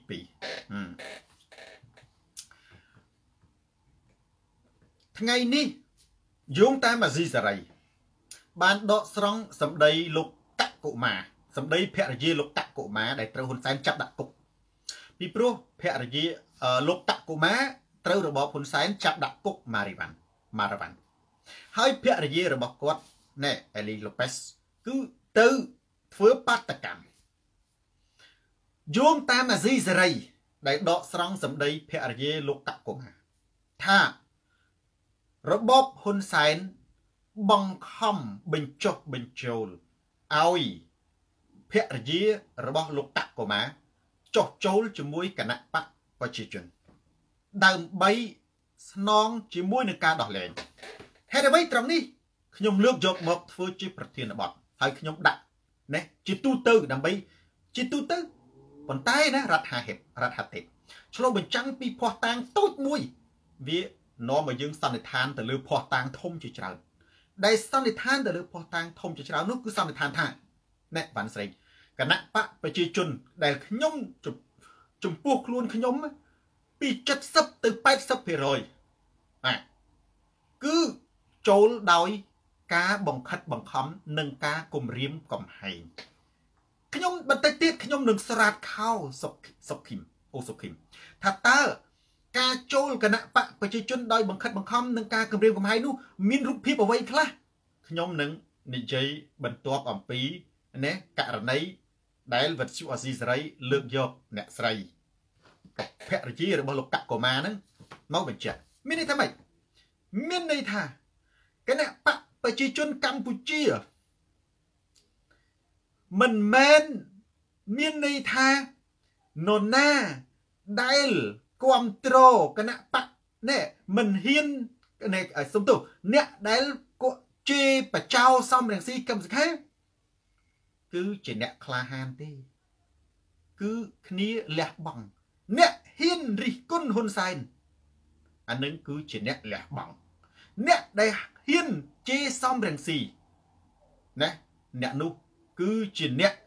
ដែលបានលៀបសាការៈបុណ្យស័ក្តិដែលខ្ញុំធ្លាប់ឆ្លើយតបទៅនឹងភ្នាក់ងារគណៈបក ប្រជាជនដែលតាំងខ្លួនជាកម្មសខានិយមជាយុវជនគណៈបកសង្គ្រោះជាតិដែលខ្ញុំដែរស្គាល់សោះណាគេថាសូនតារាបើខ្លាំងហ៊ានជេរសំរងស៊ីអត់លបងផ្កាឈូកស្រីបីប្រកាខ្ញុំថាឈួតទេអីមែនទេកកុំកកុភីហ៎បាទណាកកុំភីបាទខ្ញុំថាទេឈួតទេអីរិះគន់ហ៊ុនសែនមានណាយកទៅបាញ់ចោលមានណាដាក់គុកមានណាជីវៃក្បាលរិះគន់ហ៊ុនសែនបានលុយចាយបានបុនស័កទៅបញ្ចូលគណៈបកប្រជាជនមានពីណាគេចាប់ដាក់គុកទេអត់អញ្ចឹងអាកន្លែងនេះវាឆ្លោះបញ្ចាំងមួយ ថាមិនមែនមានតែ ប្រកតំណងជាមិនមែនមានតែនេះភរិយារបស់កម្មជនគណៈបកសង្គ្រោះជាតិមួយរូបទេគ្រាន់តែថាមួយរូបនោះត្រូវបានអាស៊ីសេរីនេះលើកយកមកនិយាយប៉ុន្តែចំណុចសំខាន់ប្រិយមិត្តអច្ឆរិយៈដែលខ្ញុំលើកយកមកក្នុងប្រធានបទនេះគឺដោយសារតែការសរសើររបស់ខ្ញុំនៅវីរភាពដ៏អស្ចារ្យបងប្អូន អ្នកខ្លះណាសុខចិត្តដើម្បីរួចចេញពីគុកទៅចោះចូលមួយគេហើយ ណាសុខចិត្តអ្នកខ្លះថាំងចោះចូលតែខ្លួនក៏បានដែរណាឲ្យតែធ្វើម៉េចបានប្តីបានប្រពន្ធឬក៏បានខ្លួនឯងចេញពីគុកបើសិនជាអ្នកនោះអត់ចោះចូលពីអត់ចោះចូលហ៊ុនសែនសុកចិត្តជាប់គុកបងប្អូនតើមនុស្សប្រភេទហ្នឹងមានតម្លៃប៉ុណ្ណា យើងត្រូវជួយគ្នា យើងត្រូវសរសើរយើងត្រូវគោរពអានេះសកម្មជនគណៈបក្សសង្គ្រោះជាតិហ្នឹងប្រហែលមិនប្រហែលទេច្បាស់ជាគាត់ប្រាប់ប្រពន្ធគាត់ហើយ ថាអត់ទេបងសុកចិត្តជាប់គុករយៈពេលមួយជីវិតក៏ដោយមិនលក់ឧត្តមកតិបងប្អូនមនុស្សចឹងណាមានតម្លៃជាងអ្នកដែលមានងារឯកឧត្តមដែលត្រូវបានហ៊ុនសែនតែងតាំងណាមនុស្សប្រភេទហ្នឹងគឺជាមនុស្សដែលមានតម្លៃបងប្អូនចាំសម្ដីខ្ញុំបាន របស់ដែលមានតម្លៃគឺជាអវ័យអេងលីមដែលមិនអាចទិញដូរបានមិនអាចទិញដោះដូរបានទេប៉ុន្តែវ៉ាន់នេះម៉ាត់ បើសិនជារបស់នោះទោះជាថ្លៃប៉ុណ្ណាក៏ដោយជន់ជន់ខេឲ្យតែអាចទិញដូរបាន គឺជារបស់ដែលឥតតម្លៃមានគណៈបកប្រជាជនកាលពីមុនហ្នឹងគាត់ថាអញ្ចឹងបើឯងស្អីអាក្បាលឯងហ្នឹងក៏សម្ដេចខ្ពើបាទមិនស្មើរួមជើងសម្ដេចផងសិតថាថាលុយសម្ដេចទាំងអស់ហ្នឹងមិនបានស្មើនេះមិនអាចទិញឯងបានខ្ញុំថាបើសិនជាលុយសម្ដេចអាចទិញអ្វីអ្វីទាំងអស់សម្ដេចនឹងទិញកែវភ្នែក មួយដែលអាចមើលឃើញដូចកែវភ្នែកធម្មជាតិពីកំណើតប៉ុន្តែมันអាចទេបើសិនជាយើងដាច់ដៃអានេះខ្ញុំនិយាយទស្សនៈទូទៅបើសិនជាយើងដាច់ដៃដៃដែលយើងទិញវាមិនមែនជាដៃកំណើតដៃមិនអាចទិញបានទេ បាត់គឺបាត់ហើយជីវិតរបស់មនុស្សយើងដូចគ្នាតែបាត់គឺបាត់ភ្នែករបស់យើងជើងរបស់យើងដៃរបស់យើងរបស់មានតម្លៃគឺរបស់ដែលមិនអាចទិញបានមួយទៀតគឺឧត្តមកតិមនសិកា ឧត្តមកតិមនសិកាដូចជាណែសកម្មជនរបស់គណៈបកសង្គ្រោះជាតិនឹងដែលជាប់ឃុំគេហៅប្រពន្ធទៅគម្រាមទាំងគ្រូសាហ្នឹងដើម្បីឲ្យចោះចូលជាមួយគណៈបព្វជនគាត់យកដំណឹងហ្នឹងមកប្រាប់អាស៊ីសេរីដើម្បីផ្សព្វផ្សាយអាហ្នឹងមានន័យថាមនុស្សមានតម្លៃអាហ្នឹងហេតុអីมันអាចទិញបានរបស់ដែលមានតម្លៃគឺជារបស់ដែលលុយមិនអាចទិញបានអញ្ចឹងចំពោះខ្ញុំសូនតារា ខ្ញុំសូមគោរពណាខ្ញុំសូមគោរពណែទាំងគ្រួសារទាំងភរិយា និងស្វាមី ចំពោះការសុខចិត្តមិនលុកឧត្តមកតិមិនយកឧត្តមកតិនិងសេចក្តីថ្លៃថ្នូររបស់ខ្លួនគិងហឿងណាទៅដូរយកសេរីភាពដែលជាចំណាប់ខ្មាំងរបស់គណៈបកប្រជាជនដ៏ថោកទាបដែលធ្វើទៅលើប្រជាជនកម្ពុជាទៅ ឥឡូវមកដល់ចំណុចនេះខ្ញុំនិយាយអំពីណាតើគណៈបកប្រជាជនមានបង្ខិតបង្ខំនិងគម្រាមកំហែងបង្ខិតបង្ខំនិងគម្រាមកំហែងខុសគ្នាប៉ុន្តែខ្ញុំសូមសរុបចុះគីងចៅតែខ្ញុំសូមនិយាយថាគណៈបកប្រជាជន70ទៅ80%ដែលជាសមាជិករបស់បកហ្នឹងណាគឺកើតឡើងពីការបង្ខិតបង្ខំណា និងពីការគម្រាមកំហែងអូនជាបេដងបងមានអ្វីជាសំអាងខ្ញុំនិយាយអំពី4ទៅ5ហេតុផលប្រិយមិត្តអានេះគឺជាកត្តា logic និងជាកត្តាវិទ្យាសាស្ត្រហេតុផលទី1បងប្អូនមើលទៅលើសំឡេងឆ្នោតអានឹងកត្តាវិទ្យាសាស្ត្រណាសំឡេងតួលេខតនន័យកណិតវិទ្យាអត់មានយល់ឃើញអត់មានយល់ឃើញបងប្អូនមើលទៅលើសំឡេងឆ្នោតបងប្អូនមើលគណៈបកប្រជាជន បើនិយាយអំពីសមាជិកទាំងអស់ប៉ូលីសតាហ៊ាន PM កងកម្លាំងប្រដាប់អាវុធយើងថាយើងចុះគ្រូបង្រៀនមន្ត្រីរាជការអង្គការសង្គមស៊ីវិលស្ថាប័នអប់រំ តាំងពីឯកជន តាំងពីរដ្ឋបើយើងនិយាយឲ្យខ្លីទៅបុគ្គលិកមន្ត្រីរាជការនេះទាំងអស់សុទ្ធតែជាសមាជិករបស់គណៈបកប្រជាជនមិនតែប៉ុណ្ណោះ គណៈបកប្រជាជន មានបន្ថែមសមាជិកតាមភូមិដូចជាការចូលបញ្ជីសមាជិកប្រជាជននៅតាមភូមិតាមឃុំឯទាំងអស់និយាយសរុបទៅ សមាជិករបស់គណៈបកប្រជាជនណានៅក្នុងប្រទេសកម្ពុជាមិនក្រោម10លានអ្នកក្នុងបញ្ជី អ្នកដែលគណៈបកប្រជាជនចេញកាតឲ្យមិនស្រួលអ្នកដែលកំពុងតែមើលទូរទស្សន៍សូនតារាណា ដែលកំពុងតែគ្រប់គ្រងគណៈបកសង្គ្រោះជាតិដែលកំពុងតែចែកចាយដែលកំពុងតែ share ទូរទស្សន៍សូនតារាដែលកំពុងតែស្អប់របបផ្ដាច់ការហ្នឹងមិនស្រួលនៅក្នុងកេះតុកនឹងកាតគណៈបកប្រជាជនទេទីចន្ទរារាមទីខ្ញុំនិយាយលេងតនេះបងប្អូនងុយគេងគេងចិត្តលក់ហើយភ្ញាក់ឲ្យព្រឺថាអឺលោកគ្រូប៉ះចំខ្ញុំហ្នឹងហើយអាការនិយាយសច្ចធម៌និងការនិយាយពិតគឺការនិយាយទៅវាឃើញវាអត់សម័យសម័យគាត់ថាគាត់និយាយទៅឲ្យត្រូវទេដូរ៉ែនមែនទេ បងប្អូនតិចអត់ជឿខ្ញុំទេអ្នកដែលកំពុងតែមើលសនតារានេះណាអ្នកកំពុងមើលសនតារាអ្នកដែលកំពុងស្អប់របបផ្ដាច់ការអ្នកគ្រប់គ្រងសង្គ្រោះជាតិណាអ្នកកំពុងចែកចាយមាន account ពិតឬ account คล้ายคล้ายមិនស្រួលស្រឡាញ់លោកគ្រូណាប៉ុន្តែនិយាយមកកាតកាតគណៈបកប្រជាជនទេមិនមែនគណៈបកសង្គ្រោះជាតិទេចុះនឹងអ្ហ្មិចវាចូលគណៈបកប្រជាជនសម្បត្តិភពដោយសារតែដូចខ្ញុំនិយាយមិញ 70ទៅ80%គណៈបកប្រជាជន គឺកើតឡើងមិនមែនដោយស្ម័គ្រចិត្តទេ ដោយការបង្ខិតបង្ខំនិងគម្រាមកំហែងហើយដូចที่ខ្ញុំនិយាយបងប្អូនគឺសួរតែលោកគ្រូមិនទៅគេហៅនិយាយបែបវិទ្យាសាស្ត្រនិយាយបែបវិទ្យាសាស្ត្រគឺនិយាយវាត្រូវចុះមិនទៅបែបនិយាយបែបរវើរវាយសុបិននិយាយបែបរវើរវាយសុបិនហ្នឹងវាត្រូវវាព្រោះដែរប៉ុន្តែវាវាអត់ពិតវាដឹងនៅឯណានៅនៃចេះសម័យឃើញណា សម័យឃើញឧទាហរណ៍គេនិយាយថាអូហូវ៉ាន់បែកធ្លាយហ្នឹងប្រហែលជាអេងឆៃអៀងហ្នឹងអ្នកផ្ញើសារឲ្យហ៊ុនសែនហ្នឹងអាហ្នឹងវាអត់ពិត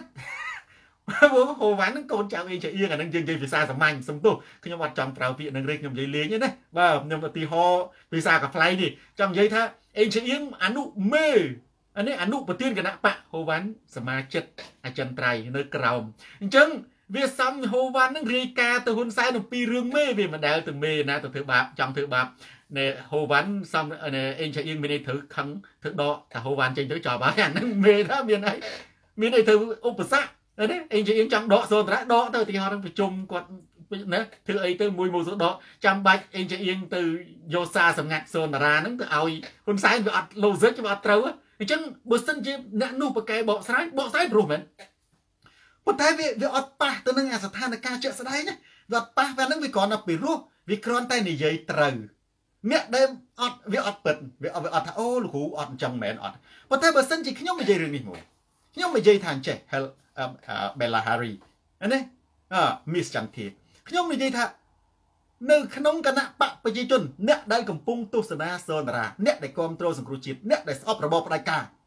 អ្នកដែលមាន account ពិតក៏ដោយឬคล้ายคล้ายក៏ដោយ ដែលចែកចាយទូរទស្សន៍សនរាដែលស្រឡាញ់គ្រប់គ្រងទូរទស្សន៍សនរាមិនស្រួលកាន់កាតគណៈបកប្រជាជនទេនិយាយចឹងលោកគ្រូគាត់អេដូចចង់ដេកដូចនិយាយត្រូវពេកភ្ញាក់ព្រឹតមើលមួយសាទៀតតែហ្មងទៅប្រូនុតខ្មែរមួយអញ្ចឹងបងប្អូនណាចំណុចទី1ខ្ញុំចង់និយាយថាចេះផាន់សវណ្ណតារាគណៈបកប្រជាជនបើនិយាយអំពីសមាជិកចន្លោះពី8 8លានទៅ10លានអ្នក 8លានទៅ10លានអ្នកសមាជិកគណៈបកសង្គ្រោះជាតិសមាជិកអត់មានមួយអត់មានកាតសួរទៅគ្មានណាជាគណៈបកសង្គ្រោះជាតិមិនណាហ៊ានថាគេសួរទៅវាយគណៈបកអីបើសិនបលិសសួរខ្ញុំគណៈបកប្រជាជនជឿអាណាថាគណៈបកសង្គ្រោះជាតិប៉ុន្តែឥឡូវយើងមើលសម្លេងឆ្នោតគណៈបកប្រជាជនបានគណៈបកប្រជាជនណាយើងយើងថាលួចបន្លំចុះប៉ុន្តែយើងនិយាយទិន្នន័យទិន្នន័យដែលកចូលបោះចេញចុះកាលនៅមានគណៈបកសង្គ្រោះជាតិ គណៈបកប្រជាជន3លានជាង3លានជាងចុះគណៈបកសង្គ្រោះជាតិប្រហែលណាគីឆេងគណៈបកសង្គ្រោះជាតិណាស៊ូមខឹមសាន3លានជាងឥឡូវអ្នកណាយកមកប្រកែកជាមួយខ្ញុំអានឹងប៉ិតកតាវិទ្យាសាស្ត្រឥឡូវខ្ញុំនិយាយរឿងតែតែលទ្ធផលនៃការបោះឆ្នោតសមាជិករបស់គណៈបកប្រជាជនទី1មានរហូតចន្លោះពី8លានទៅ10លានប៉ិតអត់ប៉ិត ចុះសម្លេងឆ្នោតគណៈបកប្រជាជនមានប្រមាណសម្លេងឆ្នោតគណៈបកប្រជាជនមានជាង3លានហើយយក5លានបាត់ទៅណាអានេះ7លានបាត់ទៅណាទៅ10លាន10លានមាន3លាន7លានបាត់ទៅណាគណៈបកសង្គ្រោះជាតិអត់មានសមាជិកអីមួយនរណាក៏អត់មានសមាជិកមានតែសកម្មជនធម្មតាហើយចុះសម្លេងឆ្នោតបានប្រមាណ3លានជាង ទាំងគណៈបកប្រជាជន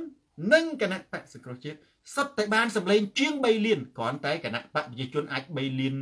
នេះអាច3លាន5សែន3លាន6សែនគណៈបកប្រជាជនអាច3លាន2សែន3លាន3សែនអញ្ចឹងទៅចាញ់គ្នាមិនដល់1លានទេអត់មានដូចនៃដូណាល់ត្រាំហើយនឹងនេះចាញ់រហូតដល់5លាននេះអត់មានទេគណៈបកប្រជាជនគណៈបកប្រជាជាតិប្រកាសប្រកាយគ្នាត្រឹម4 5សែនទេ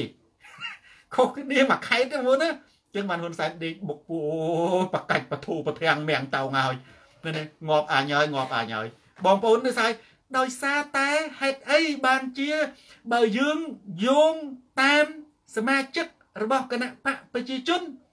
មានន័យថាមកស្រុកខ្មែរនឹងវាអត់មានបកប្រឆាំងទេវាបោះឆ្នោតទាំងអស់ចុះហេតុអីបានជាបានសម្លេងតែ3លាននៅរំដៅជួឥឡូវយើងសួរមើលណាដោយសារតែសមាជិករបស់គណៈបកប្រជាជនបោះឆ្នោតឲ្យគណៈបកសង្គ្រោះជាតិហេតុអីពីព្រោះអ្នកទាំងអស់នោះមិនមែនសមាជិកគណៈបកប្រជាជនទេ គឺចូលដោយសារតែការបង្ខិតបង្ខំនិងការគម្រាមកំហែងតែប៉ុណ្ណោះ ចំណុចទី1វិទ្យាសាស្ត្រនិយាយអំពីសម្លេងឆ្នោតអានឹងពិតសម្លេងឆ្នោតបើនិយាយអំពីគណៈបព្វជិជនមានជាងសមាជិក10លាននាក់បោះឆ្នោតមានតែ3លាននាក់ជាងហេតុអីអានេះចេះអានឹងយើងថាលួចផងចំណុចទី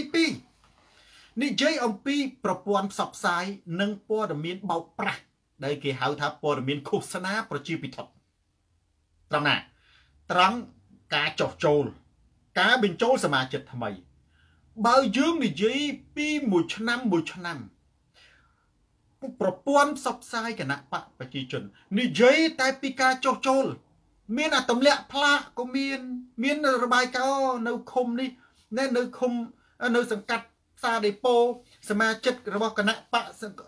ង្គ្រោះជាតិនឹង ចុះចូលគណៈបកប្រជាជនចំនួន50000នាក់ឲ្យគេផ្ទះដៃគេធ្វើពិធីបញ្ចូលសមាជិកថ្មីអានឹងនៅភ្នំពេញអូនៅខេត្តកពតអូនៅខេត្តកពតនៅស្នីទូកបៀមានសមាជិកនេះសមាជិកបញ្ចូលថ្មីចុះចូលជាមួយគណៈបកប្រជាជនចំនួន5000នាក់ហើយគេដោះអាវមានលោកតាម្នាក់ស្លៀកខោលហែកដោះអាវថ្មីដុតណាដោះអាវអាវគាត់គាត់ស្លៀកខោលហែក ខោលហែកគូចុះអ្នកគាត់អ្នកនៅជនបទគាត់ទៅធ្វើចំការណាហើយឆ្ងល់ហ្នឹងសុកចិត្តដុតអាវថ្មីស្លៀកខោលហែកណាហើយចូលបើសិនជាខោវាវាថ្មីដែរអាវសង្គ្រោះជាតិថ្មីថ្មីចេះបងប្អូនទើបបោះពុំថ្មីថ្មីហើយមួកថ្មីថ្មីចេះខ្មែរអង្គគេដោះដុតដោះដុតទៅក៏នឹងសូនតារាថាចំមើលលោកតាស្លៀកខោលហែកដោះអាវថ្មីដុតអានឹងគឺគេបោះពុំអាវដើម្បីដុតហើយប្រព័ន្ធផ្សព្វផ្សាយគេនេះគេថាអូឥឡូវណា ឃើញទេគេបញ្ចូលសមាជិកថ្មីហើយសរុបទាំងអស់នេះមកឃុំសង្កាត់នេះបញ្ចូលសមាជិកថ្មីប្រហែលសរុបទាំងអស់នឹង50ម៉ឺននាក់អូដល់ទៅពេលចិត្តរបស់ឆ្នោតជាតិសរុបទៅ50ម៉ឺននាក់មួយលានមួយលានមួយលានអានឹងមកអាណត្តិ ម៉ាណាត់គ្រាន់តែចោះចូលគណៈបកប្រជាជនមួយលានមានឲ្យតែចិត្តដល់បងប្អូនមានអាអ្នកដុតអាវក៏មានអាអ្នកដុតមុខក៏មានអាអ្នកទម្លាក់ផ្លាកក៏មានអាអ្នកជេរបចោសំរងស៊ីក៏មានអាអ្នកបញ្ចូលសមាជិកថ្មីក៏មានប៉ុន្តែយើងសួរតែតំបន់ដុតអាវហ្នឹងពីណាគេឈ្នះពីណាគេចាញ់បងប្អូនទៅស៊ើបសួរមើលនៅខេត្តកពតនៅខេត្តកពតកន្លែងដុតអាវភូមិដុតអាវហ្នឹងណាគណៈបព្វជិជនបាន5សម្លេងគុំសង្កាត់ គុំសង្កាត់តែមិនដុលឲ្យដុតកន្លែងដុតអាវហ្នឹងយើងកំថា5យ៉ាងច្រើន50សម្លេងហើយនៅកពតមិនចាញ់អាកន្លែងដុតអាវបងប្អូនមិនមិនដឹងមែនទេទិស្រាវជ្រាវមើលគឺ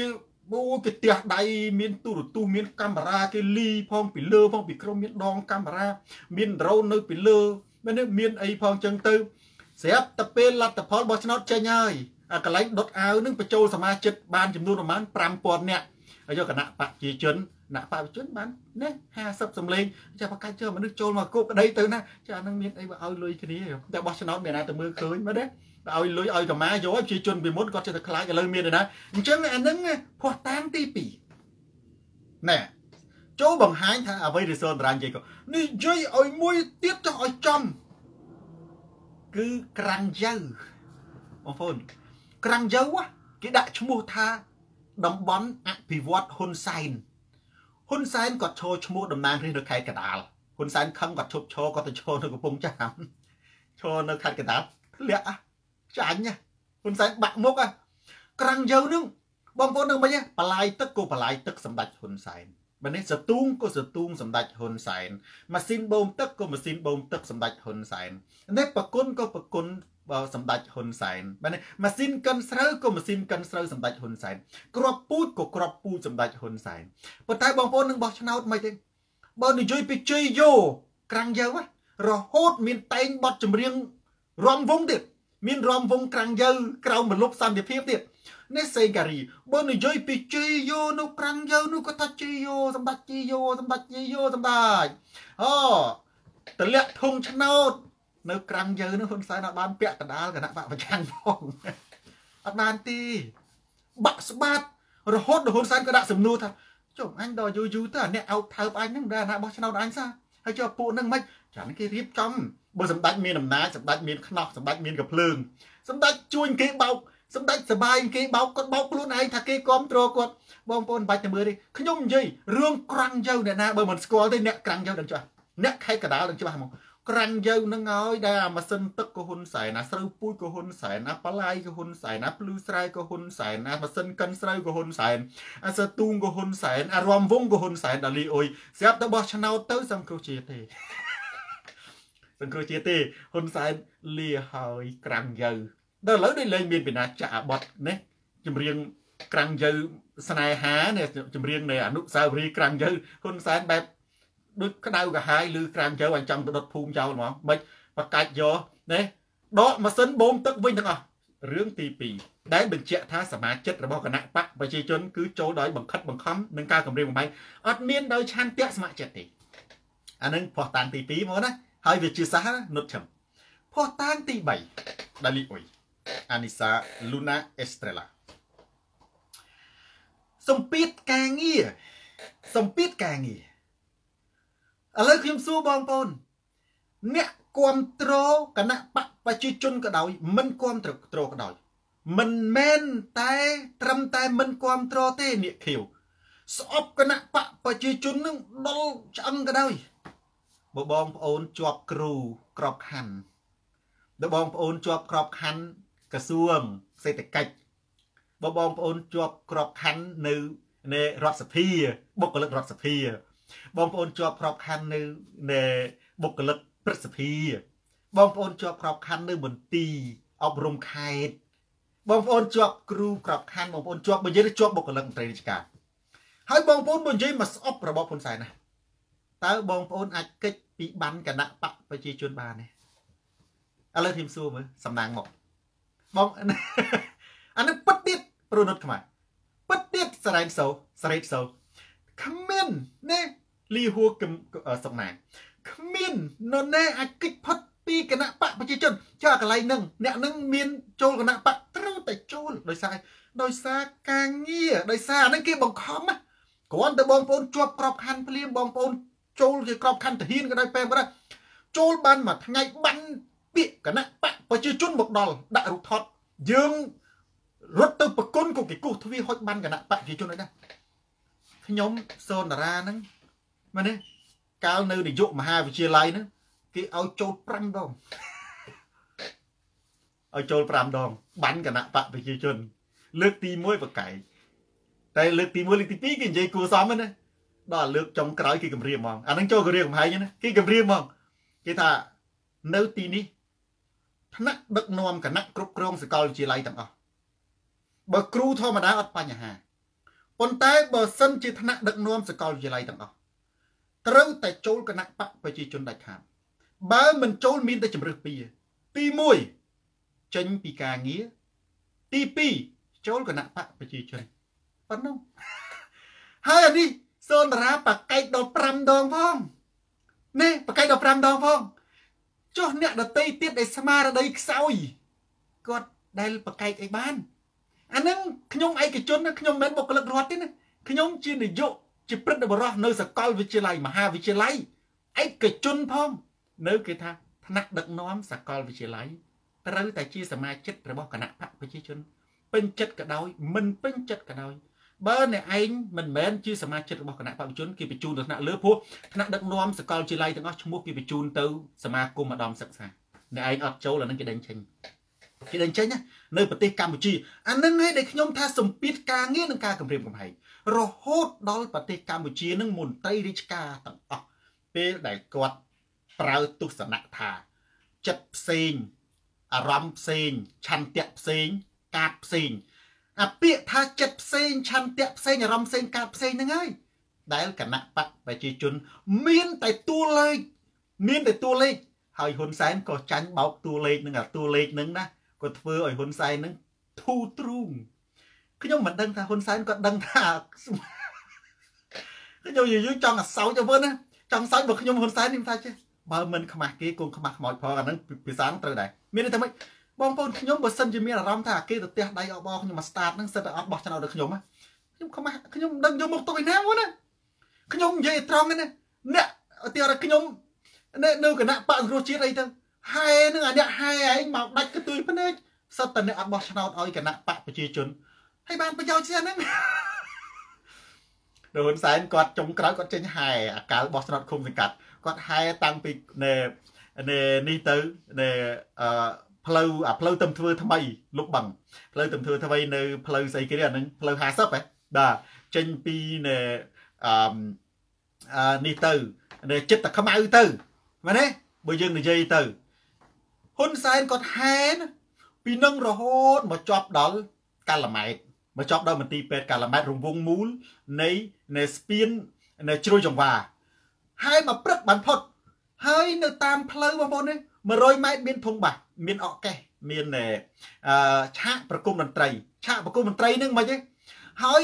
គណៈបកប្រជាជនអាតាមផ្លូវដែលហ៊ុនសែនជីចាក់មនីវង ហ្នឹងគឺគេរៀបចំដូចទទួលស្វាគមន៍កឹមជឹងអ៊ុនចឹងហ៊ុនសែនគាត់នេះហ៊ុនសែនគាត់និយាយពីមោទនភាពច័ន្ទបញ្ញាគាត់អរគុណណាដាក់លើក្បាលមេក្រូនឹងអរគុណណាអរគុណណាក្រុងភ្នំពេញហើយមើលទៅក្រុងភ្នំពេញហ្នឹងគឺសុទ្ធតែគណៈបកប្រជាជនសម្ដេចនឹងអរគុណណាអរគុណណាហែមកផងនិយាយផងគិតតែពីអរគុណគាត់រន្ធត់ពេកគាត់ថាអញមិនដែលឃើញអាណាគ្រប់ត្រូលអញមកក្រុងភ្នំពេញគ្រប់ត្រូលអស់អាលីងចឹងដល់របស់ឆ្នោតបងប្អូនរ បស់ឆ្នោតក្រុងភ្នំពេញបានពាក់កណ្ដាលអត់បានពាក់កណ្ដាលគណៈបកប្រជាជនផងហ្នឹងអត់បានពាក់កណ្ដាលគណៈបកសង្គ្រោះជាតិផងហ្នឹងក្រុងភ្នំពេញគណៈបកប្រជាជនចាញ់ទាំងអស់ចាញ់ទាំងអស់បងប្អូនអត់បានពាក់កណ្ដាលគណៈបកសង្គ្រោះជាតិផងហ៊ុនសែនគាត់ត្រូវតែជុំអាអ្នកហែដូចច្រើនណាស់អញអាអ្នកផ្ទះដៃអាអ្នកបកុំមន្ត្រីជ័យយោសន្តិភាពមកកគុកយ៉ាពួកនឹងវាទៅនៅអស់លីងទៅថាអត់ទេអានឹងសិតរៀបចំទេផ្លូវ60 តាំងពីផ្លូវ60រហូតមកដល់នៅរវងមូលស្ពានជ្រោយចង្វាហ្នឹងអាកន្លែងហ្នឹងណា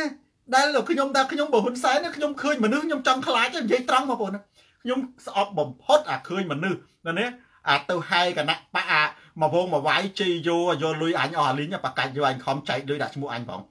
នេះ អញខំយកលុយអុកញ៉ាអញឲ្យវាម្នាក់40000 50000អញឲ្យថ្លៃសាំងវាអាបកាច់យកវានិយាយមានអាខ្លះហ្នឹងវាទៅហែគណៈបកប្រជាជនពេលថ្ងៃបានលុយចាក់សាំងវាយកទៅចាក់សាំងយប់ឡើងហែគណៈបកសង្គ្រោះជាតិអញចឹងបានអញចេះតែឆ្ងល់ថាពេលថ្ងៃឡើងគណៈបកសង្គ្រោះជាតិវាអត់សូវច្រើនទេដល់តែពេលយប់ចុះយប់គេឲ្យហែដល់ម៉ោង10ណា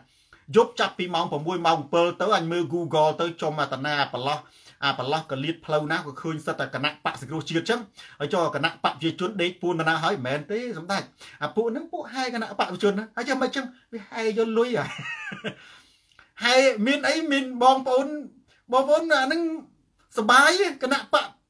សង្គ្រោះជាតិមានឲ្យលុយណាគណៈបកសង្គ្រោះជាតិហែបកអត់មានឲ្យលុយទេអត់មានឲ្យបាយមានឲ្យទឹកអីទេ មានតែបងប្អូនឲ្យទៀតមានអ្នកខ្លះទៅហែមិនមែនត្រូវមកទៅហែណា ទៅនឹងឆ្លៀតដោយទឹកសុទ្ធហើយនំប៉័ងហើយមកប្រអប់ទៀតទៅចែកពួកម៉ាក់ទូរស័ព្ទប្រាប់ពួកម៉ាក់ធ្វើឲ្យដល់ម៉ោងអាជួបជុំគ្នាតាណាអូមិនបាច់ទេទៅដល់បងប្អូនគណៈបក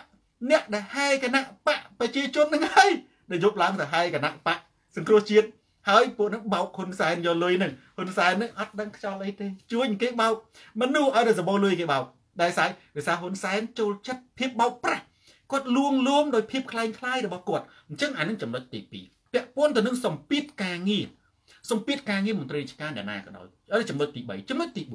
4ពាក់ព័ន្ធជាមួយនឹងអំណោយអានឹងនិយាយទៅលើលំដាប់ប្រជាជនតាមមូលដ្ឋានអនុស្សាវរីយ៍នៃខ្ញុំអភិរិទ្ធខ្មែរអំណោយគេចែកមិនមែនចែកទៅដល់ជនរងគ្រោះនិងជនអ្នកក្រីក្រគេចែកឲ្យគណៈបកប្រជាជន អំណោយគឺជាចំណាប់ខ្មាំងប្រជាជននៅតាមទីជនបទស្រុកស្រែគ្នាមានការអប់រំតិចតួច គ្នាមានការភ័យខ្លាចគ្នាចង់បានអំណោយគឺត្រូវទៅចូលសមាជិកគណៈបកប្រជាជនព្រោះប្រធានភូមិមេឃុំឯហ្នឹងគេដើរអ្នកណាចង់បានអំណោយត្រូវចុះឈ្មោះចូលគណៈបកអញ្ចឹងហើយបានជាតួលេខរបស់គណៈបកនឹងវាវាប៉ោង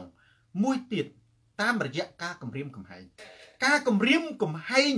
របស់គណៈបកប្រជាជននឹងគឺតាមរយៈណា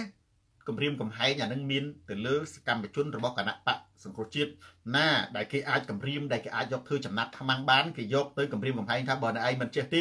គេប្រើវិធានការតឡាការគេប្រើវិធានការចាប់ជាប់ចឹងអញ្ចឹងនាំឲ្យសមាជិករបស់គណៈបកប្រជាជនប៉ោងសរុបសេចក្តីមកគណៈបកប្រជាជនដែលមានសមាជិកចន្លោះពី8លាននាក់ទៅ10លាននាក់គឺសឹកតែកើតចេញអំពីការគម្រាមកំហែងនិងការបង្ខិតបង្ខំ ភ័ស្តុតាងដែលខ្ញុំនិយាយបាញ់មិញភ័ស្តុតាងដ៏ច្បាស់ជាងគេបំផុតមិនអាចប្រកែកបានគឺលទ្ធផលបោះឆ្នោតបើសមាជិកហ៊ុនសែនមាន10លានអ្នកហេតុអីបានជាអ្នកបោះឆ្នោតមានតែ3លានអ្នកដោយសារតែសមាជិកទាំងអស់នោះសិតតែបោកហ៊ុនសែនទេមិនហ៊ុនសែនសំគេបោកជឿមិនបោកអូប្រឈមមុខជាមួយនឹងការរើសអើងប្រឈមមុខជាមួយការងារហ៊ុនសែនសម្បូរលុយទៅប្រឆាំងបានប្រយោជន៍ស្អីយុវជនយើងមួយចំនួនទៅហែគណៈបកប្រជាជនមែនទេ មានអានឹងឆ្លាតទៅបងប្អូនយើងទៅខឹងអីណាអានឹងត្រូវគិតតែឆ្លាតវិញទៅហែគណៈបកប្រជាជនពីព្រឹកដល់តែពេលល្ងាចឡើងបានលុយចាក់សាំងមានអ្នកខ្លះទូរស័ព្ទហៅគ្នាឲ្យម៉ូតូ3 4ទេណាណែឯងនៅនៅចៅសង្កាត់នោះគេថាម៉ូតូ3ម៉ូតូ1បាន20000ឯបាយហូបទេអាវពាក់គេឲ្យអាវឲ្យមួកហ្នឹងហើយបឡាននេះគេរាប់ចំនួនមនុស្សគណៈបកសរុបជាតិមានរាប់ចំនួនមនុស្សលើឡានណាឡើងសេរីហ្នឹងអាណាចង់ឡើងឡើងទៅណាចង់ចុះចុះទៅមិនគណៈបកជនគេរាប់ណា នៅមួយឡានគេមានមេខ្យល់គេគេមានបញ្ជីឈ្មោះឡើងចុះផ្ដេសផ្ដាស់គេដេញមិនអញ្ចឹងអានឹងអត់មានលុយមានបញ្ជីឈ្មោះសិតបើកលុយទៅមួយឡានទេអត់មួយឡាន20នាក់20នាក់គេសិតមានឈ្មោះគេមានមេឡានគេត្រឹមទៅដល់ទៅពេលហៅចប់អឺមកមកមកណាគេខ្លះហៅឈ្មោះម្ដងមួយអឺឈ្មោះណយអាតុញប៉ាប់មកអូណយអាតាប់ពីរមកអូអាត្រុយអើប៉ាប់មកអឺចន្ទថាកត្រុក អានឹងគឺគេរាប់ទាំងអស់គណៈបកសង្គ្រោះជាតិឡើងកុសរីចុះកុសរីអត់មាននេះទេអញ្ចឹងអាកន្លែងនេះដែលដែលខ្ញុំនិយាយមកណាគឺជាភ័ស្តុតាងច្បាស់កន្លែងហ្មងតែម្ដងដែលបងប្អូនណាបំណុលយុទ្ធធរជាប្រធានបទដែលសំខាន់នៅថ្ងៃនេះបងប្អូនយកអាចធ្វើជាតពុះបាន all right គឺគណៈបកប្រជាជន មានតែចំនួនទេចំនួននោះគឺដោយការបង្ខិតបង្ខំ និងដោយការគម្រាមកំហែងទេហើយចំនួនមួយទៀតគឺដោយសារបោកគណៈបកប្រជាជនពីព្រោះដើម្បីការងារដើម្បីសវត្ថភាពគេត្រូវបោកគណៈបកប្រជាជនសំបីតែហែបកក៏គេទៅហែគណៈបកប្រជាជនយកលុយមកហែគណៈបកសង្គ្រោះជាតិដែរខ្ញុំថាបើហ៊ុនខ្ញុំបើហ៊ុនសែនខ្ញុំដឹងខ្ញុំថាខ្ញុំអស់ហួរនិយាយបងប្អូនណាបងប្អូនតើឈឺចាប់ប៉ុណ្ណាបងប្អូនពិចារណាមើលដែលគេទៅយកលុយគណៈបកប្រជាជនហ្នឹងយកលុយគណៈបកប្រជាជនហ្នឹងមកដើម្បីចាក់សាំងហែគណៈបកសង្គ្រោះជាតិហ៊ុនសែនដឹងទេណា បើហ៊ុនសែនដឹងខ្ញុំថាអើដឹងនិយាយថាមិនទេចឹងប្រិយមិត្ត share វីដេអូនេះទៅកាន់ប្រិយមិត្តដទៃទៀតសឿនថ្ងៃទូរទស្សន៍សនតារាស្រាតខោជន់ផ្ដាច់ការមនុស្សអាក្រក់ផ្លាស់ប្ដូរផ្នត់កំណត់បាទយើងឈានចូលទៅដល់របៀបវគ្គទី3គឺសំណួរចម្លើយនិងបញ្ហាផ្សេងផ្សេង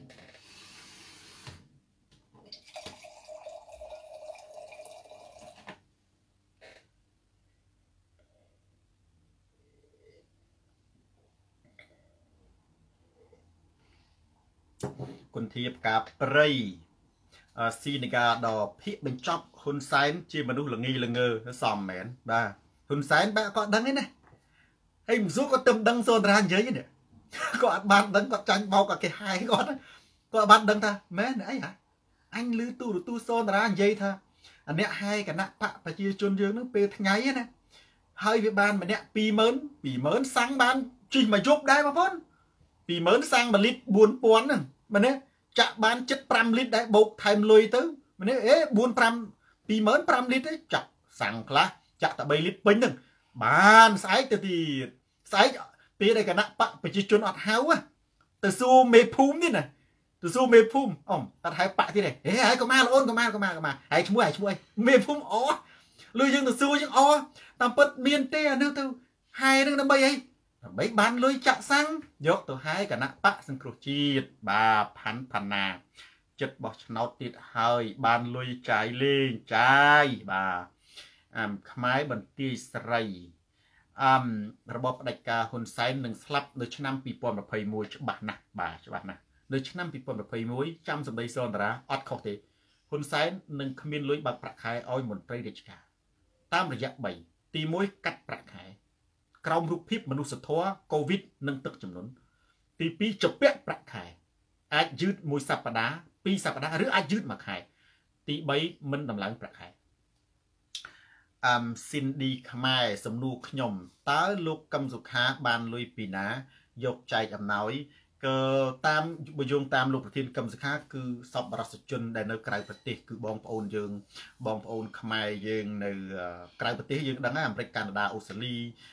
អីទាំងអស់ហ្នឹងគឺជាអ្នកដែលរៃអគិសទៅអានេះបើយោងតាមលោកប្រធានកម្មសខាមួយមួយទៀតគឺខ្ញុំអត់ដឹងដែរពួកគាត់អត់បានរាយការណ៍ថាតើប្រភពថវិកាមកពីណាក្រៅពីប៉ុណ្ណឹងផងអញ្ចឹងបើយើងនិយាយបែបវិទ្យាសាស្ត្រយើងនិយាយតាមតែអ្វីដែលគាត់រាយការណ៍ហ្នឹងគាត់រាយការណ៍ថាបាទដែលយកអំណោយទៅចែកជូនប្រជាជនដែលជាអំណោយសពប្រជាជនបងប្អូនខ្មែរយើងនៅក្រៅប្រទេសដែលផ្ញើតាមគាត់ទៅហើយបងប្អូននៅខ្មែរប្រទេសដឹងហើយបាទអ្នកណាដែលផ្ញើលុយទៅគាត់ខ្លះហ្នឹងជាសាក់សីហើយ ពាក្យថាសច្ចធម៌និយាយទៅគឺមានសំអាងសំអាងគឺខ្លួនយើងនឹងឯងប៉ះឧទាហរណ៍ថាអ្នកដែលនៅអាមេរិកនៅកាណាដាអីដែលផ្ញើលុយទៅលោកប្រធានកម្មសខាគេដឹងខ្លួនគេហើយយើងនៅក្នុងឧទាហរណ៍យើងនៅក្នុងសហរដ្ឋអាមេរិកនៅក្នុងសហគមន៍មួយនៅ Long Beach យើងមិនដឹងបាទណាថាអ្នកណាគេផ្ញើលុយគេមានរៃគេគេដែររៃស្ងាត់ស្ងាត់លុយធម្មតានៅក្នុងគណៈបកនៅក្នុងគ្រួទឹកចំនួនមួយបើកណាគេរៃអង្គាសលុយគេមិនដែររៃស្ងាត់ស្ងាត់ទេយើងត្រូវតែដឹងហើយព្រោះរៃស្ងាត់ស្ងាត់វាបានលុយមកពាក្យតែរៃលុយនេះធ្វើបុណ្យកឋិនអាចារ្យប្រកាសរហូតហ្នឹងណា គ្រាន់តែយើងចូលនឹងមិនចូលទេតើរៃលុយមិនដែរចេះស្ងាត់ទេគ្រាន់តែថាតើយើងគ្រប់គ្រងចូលជាមួយឬអត់រឿងថាសុកសុកបានលុយវាអត់មានទេរឿងអីផ្សេងអត់ដឹងអាចស្ងាត់ប៉ុន្តែរឿងរៃលុយនេះគឺមិនស្ងាត់ទេ គឺអំពាវនាវហើយអញ្ចឹងបើយោងតាមលោកប្រធានកម្មសិក្ខាគឺជាសពបរសជនបាទដែលនៃបងប្អូនយើងនៅក្រៅប្រទេសគឺចូលទៅនឹងប៉ុន្តែទោះយ៉ាងណាក៏ដោយកម្មសិក្ខាសំរស៊ីគឺជាមនុស្សតែមួយបាទ អមលុយធ្លាក់ពីលើមេឃបាទបើលុយធ្លាក់ពីលើមេឃអានោះលូឡៃស្រេងគណៈបព្វជិជនមកចាក់សូនតារាសូនតារាថាតែអញ្ចឹងហើយពិតទេណាបងប្អូនស្ដាប់ទៅដូចជាចំអកស្ដាប់ទៅដូចជាកប្លែងស្ដាប់ទៅដូចជាវាយបកតែពិតមែនទេណាគេថាអញ្ចឹងគេថាឯងព្រោះនៅក្រៅប្រទេសណាទូលៀបដុកគឺអត់មានប្រយោជន៍បានធ្វើអីទេណែមើលលោកប្រធានកម្មសខាមិនជ្រុលនិយមដោយឯងទេគាត់ចែកអំណោយនិងចែកស្រូវពូជមិនមែនបានតែនិយាយគ្មានបានជួយស្អីមករៀលដោយឯងទេ ខ្ញុំថាកម្មសខាសំរស៊ីមនុស្សតែមួយថាឲ្យខ្ញុំអញ្ចឹងខ្ញុំនិយាយមួយម៉ាត់ដឹងគាត់ច្រឡោតមកគាត់ថាមនុស្សតែមួយសំរងស៊ីគឺញុះញង់ហង្សាស្រឡាញ់សង្គ្រាមលោកប្រធានលោកកម្មសខាគឺអហិង្សាមិនជ្រុលនិយមដោយឯងទេខ្ញុំក៏ថាអញ្ចេះមកអហិង្សាមានណាអហិង្សាជាងលើឡៃស្រេងបងប្អូននិយាយថាលោកគ្រូដូចខុសរកចំណុចខុសមកខ្ញុំអត់មានណាអហិង្សាជាងលើឡៃស្រេងទេបើអហិង្សាគឺជាក្រងវាស់ និងជាលទ្ធផលនៃជ័យជំនះមែនលោកប្រធានកម្មសខាជាអ្នកជោគជ័យទេម្លេះលើឡៃស្រេងណាអាចបដូររបបហ៊ុនសែនបានបាត់ហើយគាត់មិនទៅអង្គុយនៅជើងភ្នំភ្នំស្រួច ស្រុកបរសែបស្រុកភ្នំស្រួចខេត្តកំពង់ស្ពឺស្រុកកំណើតគាត់ទេដោយសារអីអានឹងគឺវាអញ្ចឹងបាទសឹមសុខុននិងសុំសុនសុនបាទបោកភូតផោបានចេះតែធ្វើទៅធៀប ពិតខ្លៅឆ្កែមានន័យថាម៉េចកំពុងតែព្រុសទាំងសុបិននិងស្រមើស្រមៃអេអានឹងខ្ញុំមាននិយាយខុសឥឡូវខ្ញុំនិយាយគណៈបកប្រជាជនមានសមាជិកចន្លោះពី8លានទៅ10លានអ្នកត្រូវឬខុសគៀងហ៊ូឆ្លើយបងប្អូនគណៈប្រជាជនឆ្លើយមកមែនសម្លេងឆ្នោតគណៈបកប្រជាជនកាលនៅគណៈបកសង្គ្រោះជាតិមានប្រមាណជាង3លានហើយចោល7លានបាត់ទៅឯណា7លានបាត់ទៅឯណាហ៎មានន័យថាម៉េចមានន័យថាការបោះឆ្នោត ការដែលគណៈបកប្រជាជនមានសមាជិកគឺកើតពីការបង្ខិតបង្ខំនិងគម្រាមកំហែងទេចូលបង្ហាញថាសូនតារានិយាយភូតអានឹងយើងនិយាយចឹងខិត Kevin K ខំមែនទេមួយមួយទៀតមានទេនៅក្នុងគណៈបកប្រជាជនកម្ពុជារាល់បុគ្គលិករដ្ឋទាំងអស់មន្ត្រីរាជការពេញចិត្តក៏ដោយមិនពេញចិត្តក៏ដោយត្រូវតែជាគណៈបកប្រជាជន ចូលភ្លាមក៏ឲ្យបាន បើមិនចូលទេ គេអាចរើសអើងឬក៏គេអាចដកចេញពីក្របខ័ណ្ឌការងារនិយាយឲ្យខ្លីរាល់មន្ត្រីរាជការបើយោងតាមច្បាប់មន្ត្រីរាជការគឺមន្ត្រីឯករាជ្យក្របខ័ណ្ឌរដ្ឋអត់មានមន្ត្រីនយោបាយទេឯករាជ្យមានថាអត់មានសមាជិកគណៈបកទេចូលរកអ្វីមកបញ្ជាក់ថាមន្ត្រីរាជការ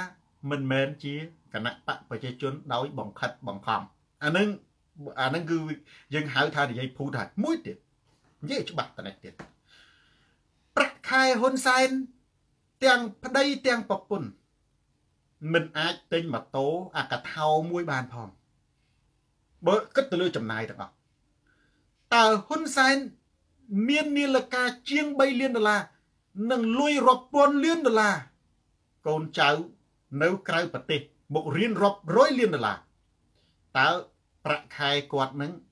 អាចជប់ប្រែคล้ายពីប្រាក់ខែលុយ1000ទៅ1លានបានទេហ៊ុនសែនអាចចេះប្រែកាឡាលុយថាលុយប្រាក់ខែ1000ចេះប្រែវាឲ្យទៅជា10លានបានអត់ទេបានមកពីណាបើមិនលួចជាតិបើមិនលុកជាតិបើមិនពុករលួយលុយនោះតើអាចកើតឡើងដោយធម្មជាតិទេអត់ទេចូលបង្ហាញថាអ្វីដែលខ្ញុំនិយាយនេះគឺភូតបាទ អក្សរថៃពលពួករដ្ឋបាលសុទ្ធតែខាង សង្គ្រោះជាតិទាំងអស់គាត់មកនិយាយលេងបាទអានឹងនេះតើវ៉ាន់ភិរមបាទសូមសរសើរលោកប្អូនតារាអស់ពីបេះដូងបាទចន្ទរារាមាមនុស្សអាក្រក់គណៈបកប្រជាជនធ្វើឲ្យខ្មែរស្អប់បែងចែកបកពួកត្រឹមត្រូវហើយចឹកសេងឈ្មោះខ្មោចទេលោកបាំងបាទឆ្កែរត់ចោលស្រុកមេថាម៉េចអក៏តបគ្នាដតីមីស វ៉ាន់នីរីពលរដ្ឋខ្មែរយល់ដឹងច្រើនដោយសារតែពលរដ្ឋខ្មែរយល់ដឹងច្រើននឹងបានជាហ៊ុនសែនរំលាយគណៈបកសង្គ្រោះជាតិពីព្រោះបោកមិនបាន បងប្អូនបើសិនជាហ៊ុនសែនអាចប្រើប្រាស់អំណោយនឹងការគម្រាមកំហែងទិញទឹកចិត្តប្រជាជនណាណាជាការឈ្នះឆ្នោតម្លេះហ៊ុនសែននឹងប្រើអំណោយនឹងការគម្រាមកំហែងទិញទឹកចិត្តប្រជាជនដើម្បីឈ្នះឆ្នោតហើយគាត់មិនខ្វះលុយចែកប្រជាជននៅថ្ងៃបោះឆ្នោតទេប៉ុន្តែដោយសារតែប្រជាជនយល់ มันអាចទិញទឹកចិត្តពួកគាត់បាន យកលុយឲ្យយកតែដល់ទៅពេលបោះឆ្នោតបោះឆ្នោតតាមឆន្ទៈបាទផាន់សុកលក់ទូហាងទូរស័ព្ទទំនើបបាទខុតសំខឿនណាបាទខុតសាក់ខឿនកម្ពុជាក្រោមជាទឹកដីរបស់ខ្ញុំតើរវាងហ៊ុនសែននិងប្រយុទ្ធមួយណាដួលមុនបាទធម្មតានៃការដួលមុនដួលក្រោយវាអត់សំខាន់ទេសំខាន់គឺដួលទាំងអស់ រឿងប្រយុទ្ធខ្ញុំសូមមិនពិចារណាខ្ញុំសូមមិននិយាយព្រោះមិនមែនជាប្រទេសកម្ពុជាហើយនេះរឿងនៅក្រៅពីប្រទេសកម្ពុជាគឺខ្ញុំអត់និយាយទេព្រោះទួនាទីរបស់សូនតារាស្រាតខោជន់ផ្ដាច់ការផ្លាស់ប្ដូរផ្នត់កំណត់សូនតារាអត់គ្រប់គ្រងមានដឹកនាំផ្ដាច់ការលើសកលលោកប៉ុន្តែអព្យាក្រឹតចំពោះណាមេដឹកនាំនៅប្រទេសដទៃប្រជាជនគេដែលដោះស្រាយអញ្ចឹងសូនតារាយកចិត្តទុកដាក់សំខាន់តែកម្ពុជា ជនផ្ដាច់ការផ្លាស់ប្ដូរផ្នត់កំណត់រឿងប្រយុទ្ធច័ន្ទឧចាពលរដ្ឋរបស់ថៃជាអ្នកដោះស្រាយណាហើយសួរថាចុះសូនតារាទៅគ្រប់គ្រងប្រយុទ្ធច័ន្ទឧចាទេបើគាត់ជាជនផ្ដាច់ការខ្ញុំអត់គ្រប់គ្រងទេប៉ុន្តែខ្ញុំអត់មានយោបល់និយាយថាគាត់ខុសឲ្យត្រូវដែរព្រោះអានឹងវាមិនមែនជាតួនាទីរបស់ខ្ញុំវាខុសពីតួនាទីតួនាទីរបស់ខ្ញុំស្រាច់ខោជនផ្ដាច់ការហ៊ុនសែនផ្លាស់ប្ដូរផ្នត់គំនិតប្រជាជនកម្ពុជាបាទអឺមីគីស៊ូ it's time Biden to save Cambodia now បាទអឺផតថហ៊ុនសែនជាសត្វ zombie ដែលបាត់សតិអាចត្រូវមួយយ៉ាងដែរព្រោះគាត់មើលឃើញខ្មោចមែនទេគាត់នៅតែសកម្មតិចគាត់នៅតែប្រឆាំងជាមួយសង្គ្រោះជាតិយូរអេងបានមកពីព្រៃឈើពុករលួយដីលោកគ្រូបាទគឹមអៀងគ្រីសេង99%ពុករលួយ100% ណែវាមិនអាចលុយនឹងចេះជប់ទេបេះដូងកូនខ្មែរលោកគ្រូ2021ស្រុកខ្មែរយើងខែកុម្ភៈដាច់ឆ្នាំដាច់ខែ31ហើយបាទចៅកុសលអាមទីដូចលេងមានសំណួររំដួលសុរិនចុងឆ្នាំ2020ចុងឆ្នាំ21ហ៊ុនសែនអង្គុយលើរទេសរុញហើយ ជាការព្យាកររបស់គាត់បាទ Tulip Duk Hi teacher and all friends on Facebook រាជបុត្រសង្គ្រោះជាតិ បើកតែយុទ្ធត្រូវហើយប្រជាជនបានចេះតែស្ងល់អីចុះកោះហៅបកាច់ចូលស្អី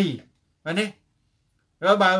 មិនអោយគេចូលបានផងហ្នឹងហើយកោះប្រឹងកោះអីឥឡូវនេះបើបិទប៉ាសពតគេអស់អត់ហើយអញ្ចឹងមានន័យថាហ៊ុនសែនកំពុងតែភ័យរន្ធត់តាក់ស្លុតទេហ៊ុនសែននៅពេលណាដែលគាត់ភ័យរន្ធត់តាក់ស្លុតណាខ្មែរអង្គរគឺគាត់ប្រើតឡាការ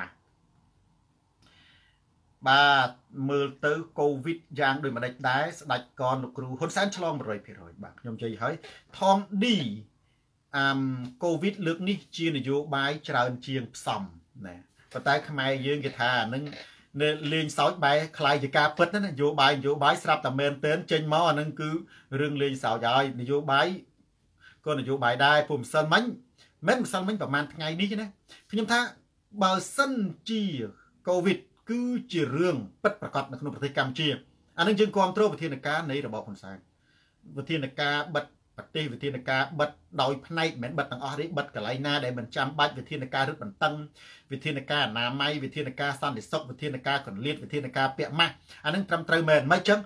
មិនរលហ៊ុនសែនធ្វើអីសិតតែខុសទេហើយយើងកុំមើលងាយមែនទេកុំថាហ៊ុនសែននៃអត់ធ្វើវិធានការយើងទៅថាឲ្យគាត់គាត់ចាត់វិធានការក៏យើងថាឲ្យគាត់អត់ទេកូរ៉ូណា បងប្អូននៅស្រុកបារាំងណា4នាក់ឆ្នាំមិនតន់បានមួយឆ្នាំនេះកាលពីខែ3កាលពីខែ2ខែ2ខែ3តែ4នាក់ឯងឥឡូវ2លាននាក់នៅអាមេរិកទេណាតែ2នាក់ឯងឥឡូវជាងជិត10លាននាក់ដែលពាក្យសម្ដេចតេជោគាត់និយាយទៅនេះត្រូវកុំឲ្យងងើកភ្លើងទូចថ្លៃជាអគីភ័យគ្រោះថ្នាក់កុំលេងសើចអត់បានទេប៉ុន្តែបើសិនជា វាជារឿងពិត វាជាវិធានការពិតដើម្បីប្រជាជនអានឹងគឺយើង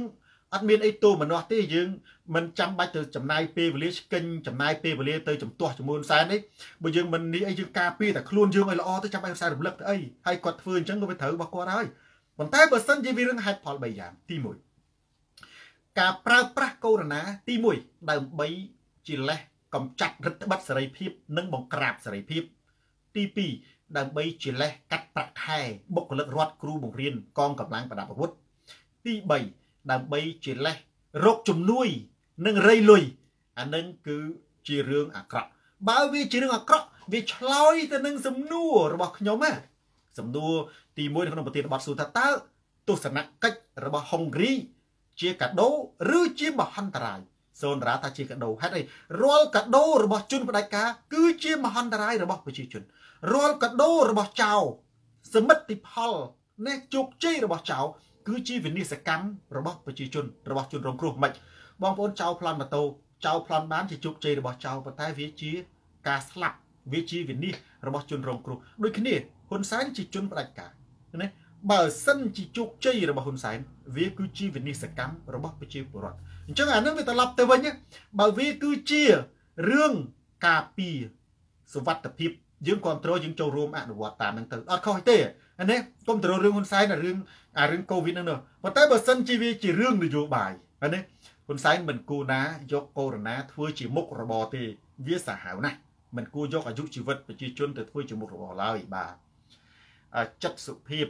ភ្លើងធូបអាចឆេះផ្ទះល្វែងបានឆេះមកភ្នំពេញក៏បានដែរបើអត់មានអីពលុតនោះបាទអឹម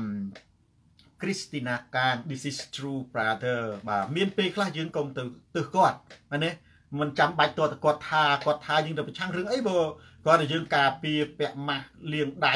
ម្នេះនៅកង្លៀតពីមនុស្សកុំនេះទៅជួបជុំមនុស្សច្រើនអានឹងយើងការពារខ្លួនជើងឯតាបើហ៊ុនសែនថាថាតែគាត់ទៅណាអឹមតាំងសេងពៅកាត់ទាហានខ្មោចមួយចំនួនហើយ បាទតារាវុធប្រសិនបើបោកប្រាស់ ក៏មិនអាចបោកប្រជាជនយូរដែរត្រឹមត្រូវបងប្អូន ការបោកប្រាស់ណាគេប្រៀបធៀបដូចជាមាសដូចជាដែកលាបមាសហើយនឹងមាសពិតពេលវេលាជាអ្នកឆ្លោយនៅសច្ចធម៌ដែកដែលលាបទឹកមាសនិងមាសពិតទោះជាដូចគ្នាបេះបិទប៉ុន្តែយូរបន្តិចដែកដែលលាបមាសវានឹងហើពណ៌ ហើយមាសពិតគឺវាអត់ចេះហើទៅណាទេអមអម្ដាយធីរិតបងតារាសូមទោសបង មាន សង្ឃឹមអត់បើខ្ញុំរបៀបដូចដូចថ្ងៃអឺគឺខ្ញុំនៅស្រុកគេ គឺគ្មាន សង្ឃឹមឡើយសង្ឃឹម100%សង្ឃឹម100%ណាហេតុអីបើយើងតស៊ូមិនបោះបង់នឹងសង្ឃឹមយើងដាំដើមស្វាយមិនមែនដាំថ្ងៃនឹងហូបផ្លែស្អែកទេ ហើយដើមស្វាយសង្គ្រោះជាតិដើមឈើសង្គ្រោះជាតិត្បិតត្បិតតែមិនទាន់មានផ្លែមិនទាន់មានផ្កាហូបប៉ុន្តែដើមធំហើយណានេះខ្ញុំលើកឧទាហរណ៍មួយជូបៃដិនណាគាត់តស៊ូ50ឆ្នាំទម្រាំតែជាប់ជាប្រធានាធិបតីជូបៃដិនណាបើនិយាយពីជីវិតរបស់គាត់អ្នកល្មមល្មមមនុស្សទុនខ្សោយលុតទឹកសម្រាប់ខ្លួនចងកសម្រាប់ខ្លួនមកហើយហេតុអីឆ្នាំ1972 គាត់គ្រោះថ្នាក់ចរាចរណ៍ប្រពន្ធរបស់គាត់និងកូនអាយុ1ឆ្នាំស្លាប់មែនទេហាឆ្នាំ77ក៏រៀបការមួយទៀតឆ្នាំ1988 Joe Biden នេះរៀបចំប្រកួតប្រធានាធិបតីធ្លាក់បរាជ័យឆ្នាំ2008ក៏ត្រឡប់មកម្ដងទៀតបរាជ័យនេះដោយសារតែចាញ់បេក្ខភាពអ៊ូបាម៉ាក្នុងបកឆ្នាំ2016បរាជ័យដោយសារតែកូនគាត់ អាយុ46ឆ្នាំស្លាប់ណាដោយជំងឺមហារីកសោកនិតកម្មប្រពន្ធស្លាប់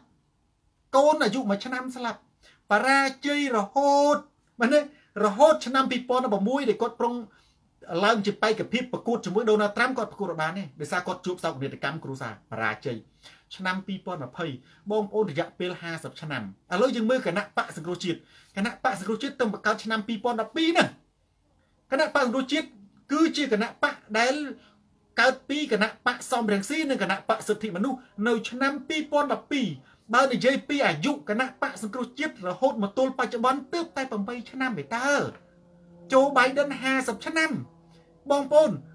ឲ្យតែយើងតស៊ូកុំឈប់ទាល់តែដាច់ដង្ហើមទាល់តែដាច់ខ្យល់ស្លាប់យើងនឹងឈ្នះដរាបណាយើងមិនទាន់វាយក្តារមេឈូសចូលទៅដេកទេ ការតស៊ូរបស់យើង នៅតែដើររហូត យើងសង្ឃឹមជឿជាក់100%ដែលខ្ញុំលើកឧទាហរណ៍ច្បាស់មើលតែโจ Biden ទៅ50ឆ្នាំគណៈបកសង្គ្រោះជាតិបើនិយាយអំពីការបង្កើតនេះសេងរតនាទើបតែ8ឆ្នាំទេអញ្ចឹងប្រិយមិត្តដោយសារតែពេលវេលាមានកំណត់ខ្ញុំសូមមួយចំណុចទៀតចុះបាទសេងរតនាទីក្រុងភ្នំពេញប្រកាសបិទបណ្ដាបណ្ដាហើយចាប់ពីពេលនេះតទៅបាទសង្ឃឹមថាបានជំនួយ ហែមតារាសួស្ដីលោកគ្រូបិទនឹងខ្ញុំក៏រំលឹកតែចេះបិទមាន2ម្សិលមិញម្នេះបិទឲ្យខ្យល់ដកដង្ហើមនិងបិទថប់ដង្ហើមស្លាប់ឃើញអាមេរិកឃើញបារាំងបិទមិនមែនមានន័យថាយើងត្រូវតែបិទតាមអាមេរិកអាមេរិកតាមបារាំងទេពោះបារាំងបិទវាឲ្យលុយប្រជាជន យើងបិទគឺបិទអត់ឲ្យលុយប្រជាជនអានឹងវាថប់បិទដូចគ្នាគ្រាន់តែមួយនឹងបិទឲ្យដង្ហើមអាមួយបិទថប់ដង្ហើមស្លាប់អញ្ចឹងបានជានេះ ប្រទេសកម្ពុជាត្រូវប្រយ័ត្នប្រយែងរឿងហ្នឹងដែលខ្ញុំនិយាយថាមិនមែនធ្វើត្រាប់តាមភាពយន្តទេណាភាពយន្តមានន័យឃើញគេហោះយើងទៅហោះតាមបាក់កងាប់ឃើញបារាំងបិទឲ្យទៅបិទឲ្យដូចបារាំងអត់បានទេអាហ្នឹងណាអញ្ចឹងកន្លែងនេះដែលជាចំណុចមួយដែលខ្ញុំអត់ជំទាស់ទេប៉ុន្តែឲ្យស្គាល់កលៈទេសៈនិងស្ថានភាពខុសគ្នាអញ្ចឹងប្រិយមិត្តខ្មែរអង្គ share វីដេអូនេះទៅកាន់ប្រិយមិត្តដទៃទៀត ដោយសារតែពេលមានពេលវេលាមានកំណត់ហោចដិនខ្ញុំសូមបញ្ចប់ការផ្សាយផ្ទាល់តែត្រឹមនេះចុះអរគុណប្រិយមិត្តដែលបានតាមដានទស្សនាការផ្សាយផ្ទាល់នេះតាំងពីដើមរហូតដល់ចប់ share វីដេអូនេះទៅកាន់ប្រិយមិត្តដទៃទៀតទូរទស្សន៍សូនតារាទៅដល់ទីណាការផ្លាស់ប្ដូរផ្នត់កំណត់ទៅដល់ទីនោះការផ្លាស់ប្ដូរផ្នត់កំណត់ទៅដល់ទីណាឆ្កែរត់ចោលស្រុកហ៊ុនសែនចប់ទៅដល់ទីនោះស្ដាប់សូនតារាកើនប្រាជ្ញា ស្ដាប់ខឹមវាសនាកើតខួរក្បាលឌីសស្ដាប់ហ៊ុនសែនកើតរោគចិត្តសំទុះមកដល់តនេះចេះតែញឹមមានបងប្អូនយើងខមមិនស្ដាប់សូនតារាកើនបញ្ញា ស្ដាប់ខឹមវាសនាប្រេងឆាឡើងថ្លៃខ្ញុំអត់យល់រហូតមកទល់ហើយខ្ញុំនៅតែបញ្យល់ចុះគាត់ស្ដាប់ខឹមវាសនាមិនក៏ត្រូវប្រេងឆាឡើងថ្លៃណាបងគីហូអញ្ចឹងមកដល់តនេះទុកឲ្យបងប្អូនយើងស្រាវជ្រាវឆ្លើយចុះតនឹងខ្ញុំអត់យល់ទេប្រាជ្ញាមិនដល់ខ្ញុំវាអត់មានដែរបាទអញ្ចឹងខ្ញុំអញ្ចេះរីដែរមានបងប្អូនយើងគាត់និយាយអញ្ចឹងអានឹងជារឿងបងប្អូននេះប៉ុន្តែខ្ញុំគឺស្ដាប់សូនតារាកើនបញ្ញាស្ដាប់គឹមវាសនាកើតខួរក្បាលឌីសស្ដាប់ហ៊ុនសែនកើតរោគចិត្តទូរទស្សន៍សូនតារាតារាវុធស្រាតខោជន់ផ្ដាច់ការផ្លាស់ប្ដូរផ្នត់កំណត់ យើងជួបគ្នាសាជាថ្មីម្ដងទៀតនៅថ្ងៃក្រោយ តាមពេលវេលា និងម៉ោងដដែល សូមអរគុណសូមជម្រាបលារាត្រីសួស្តី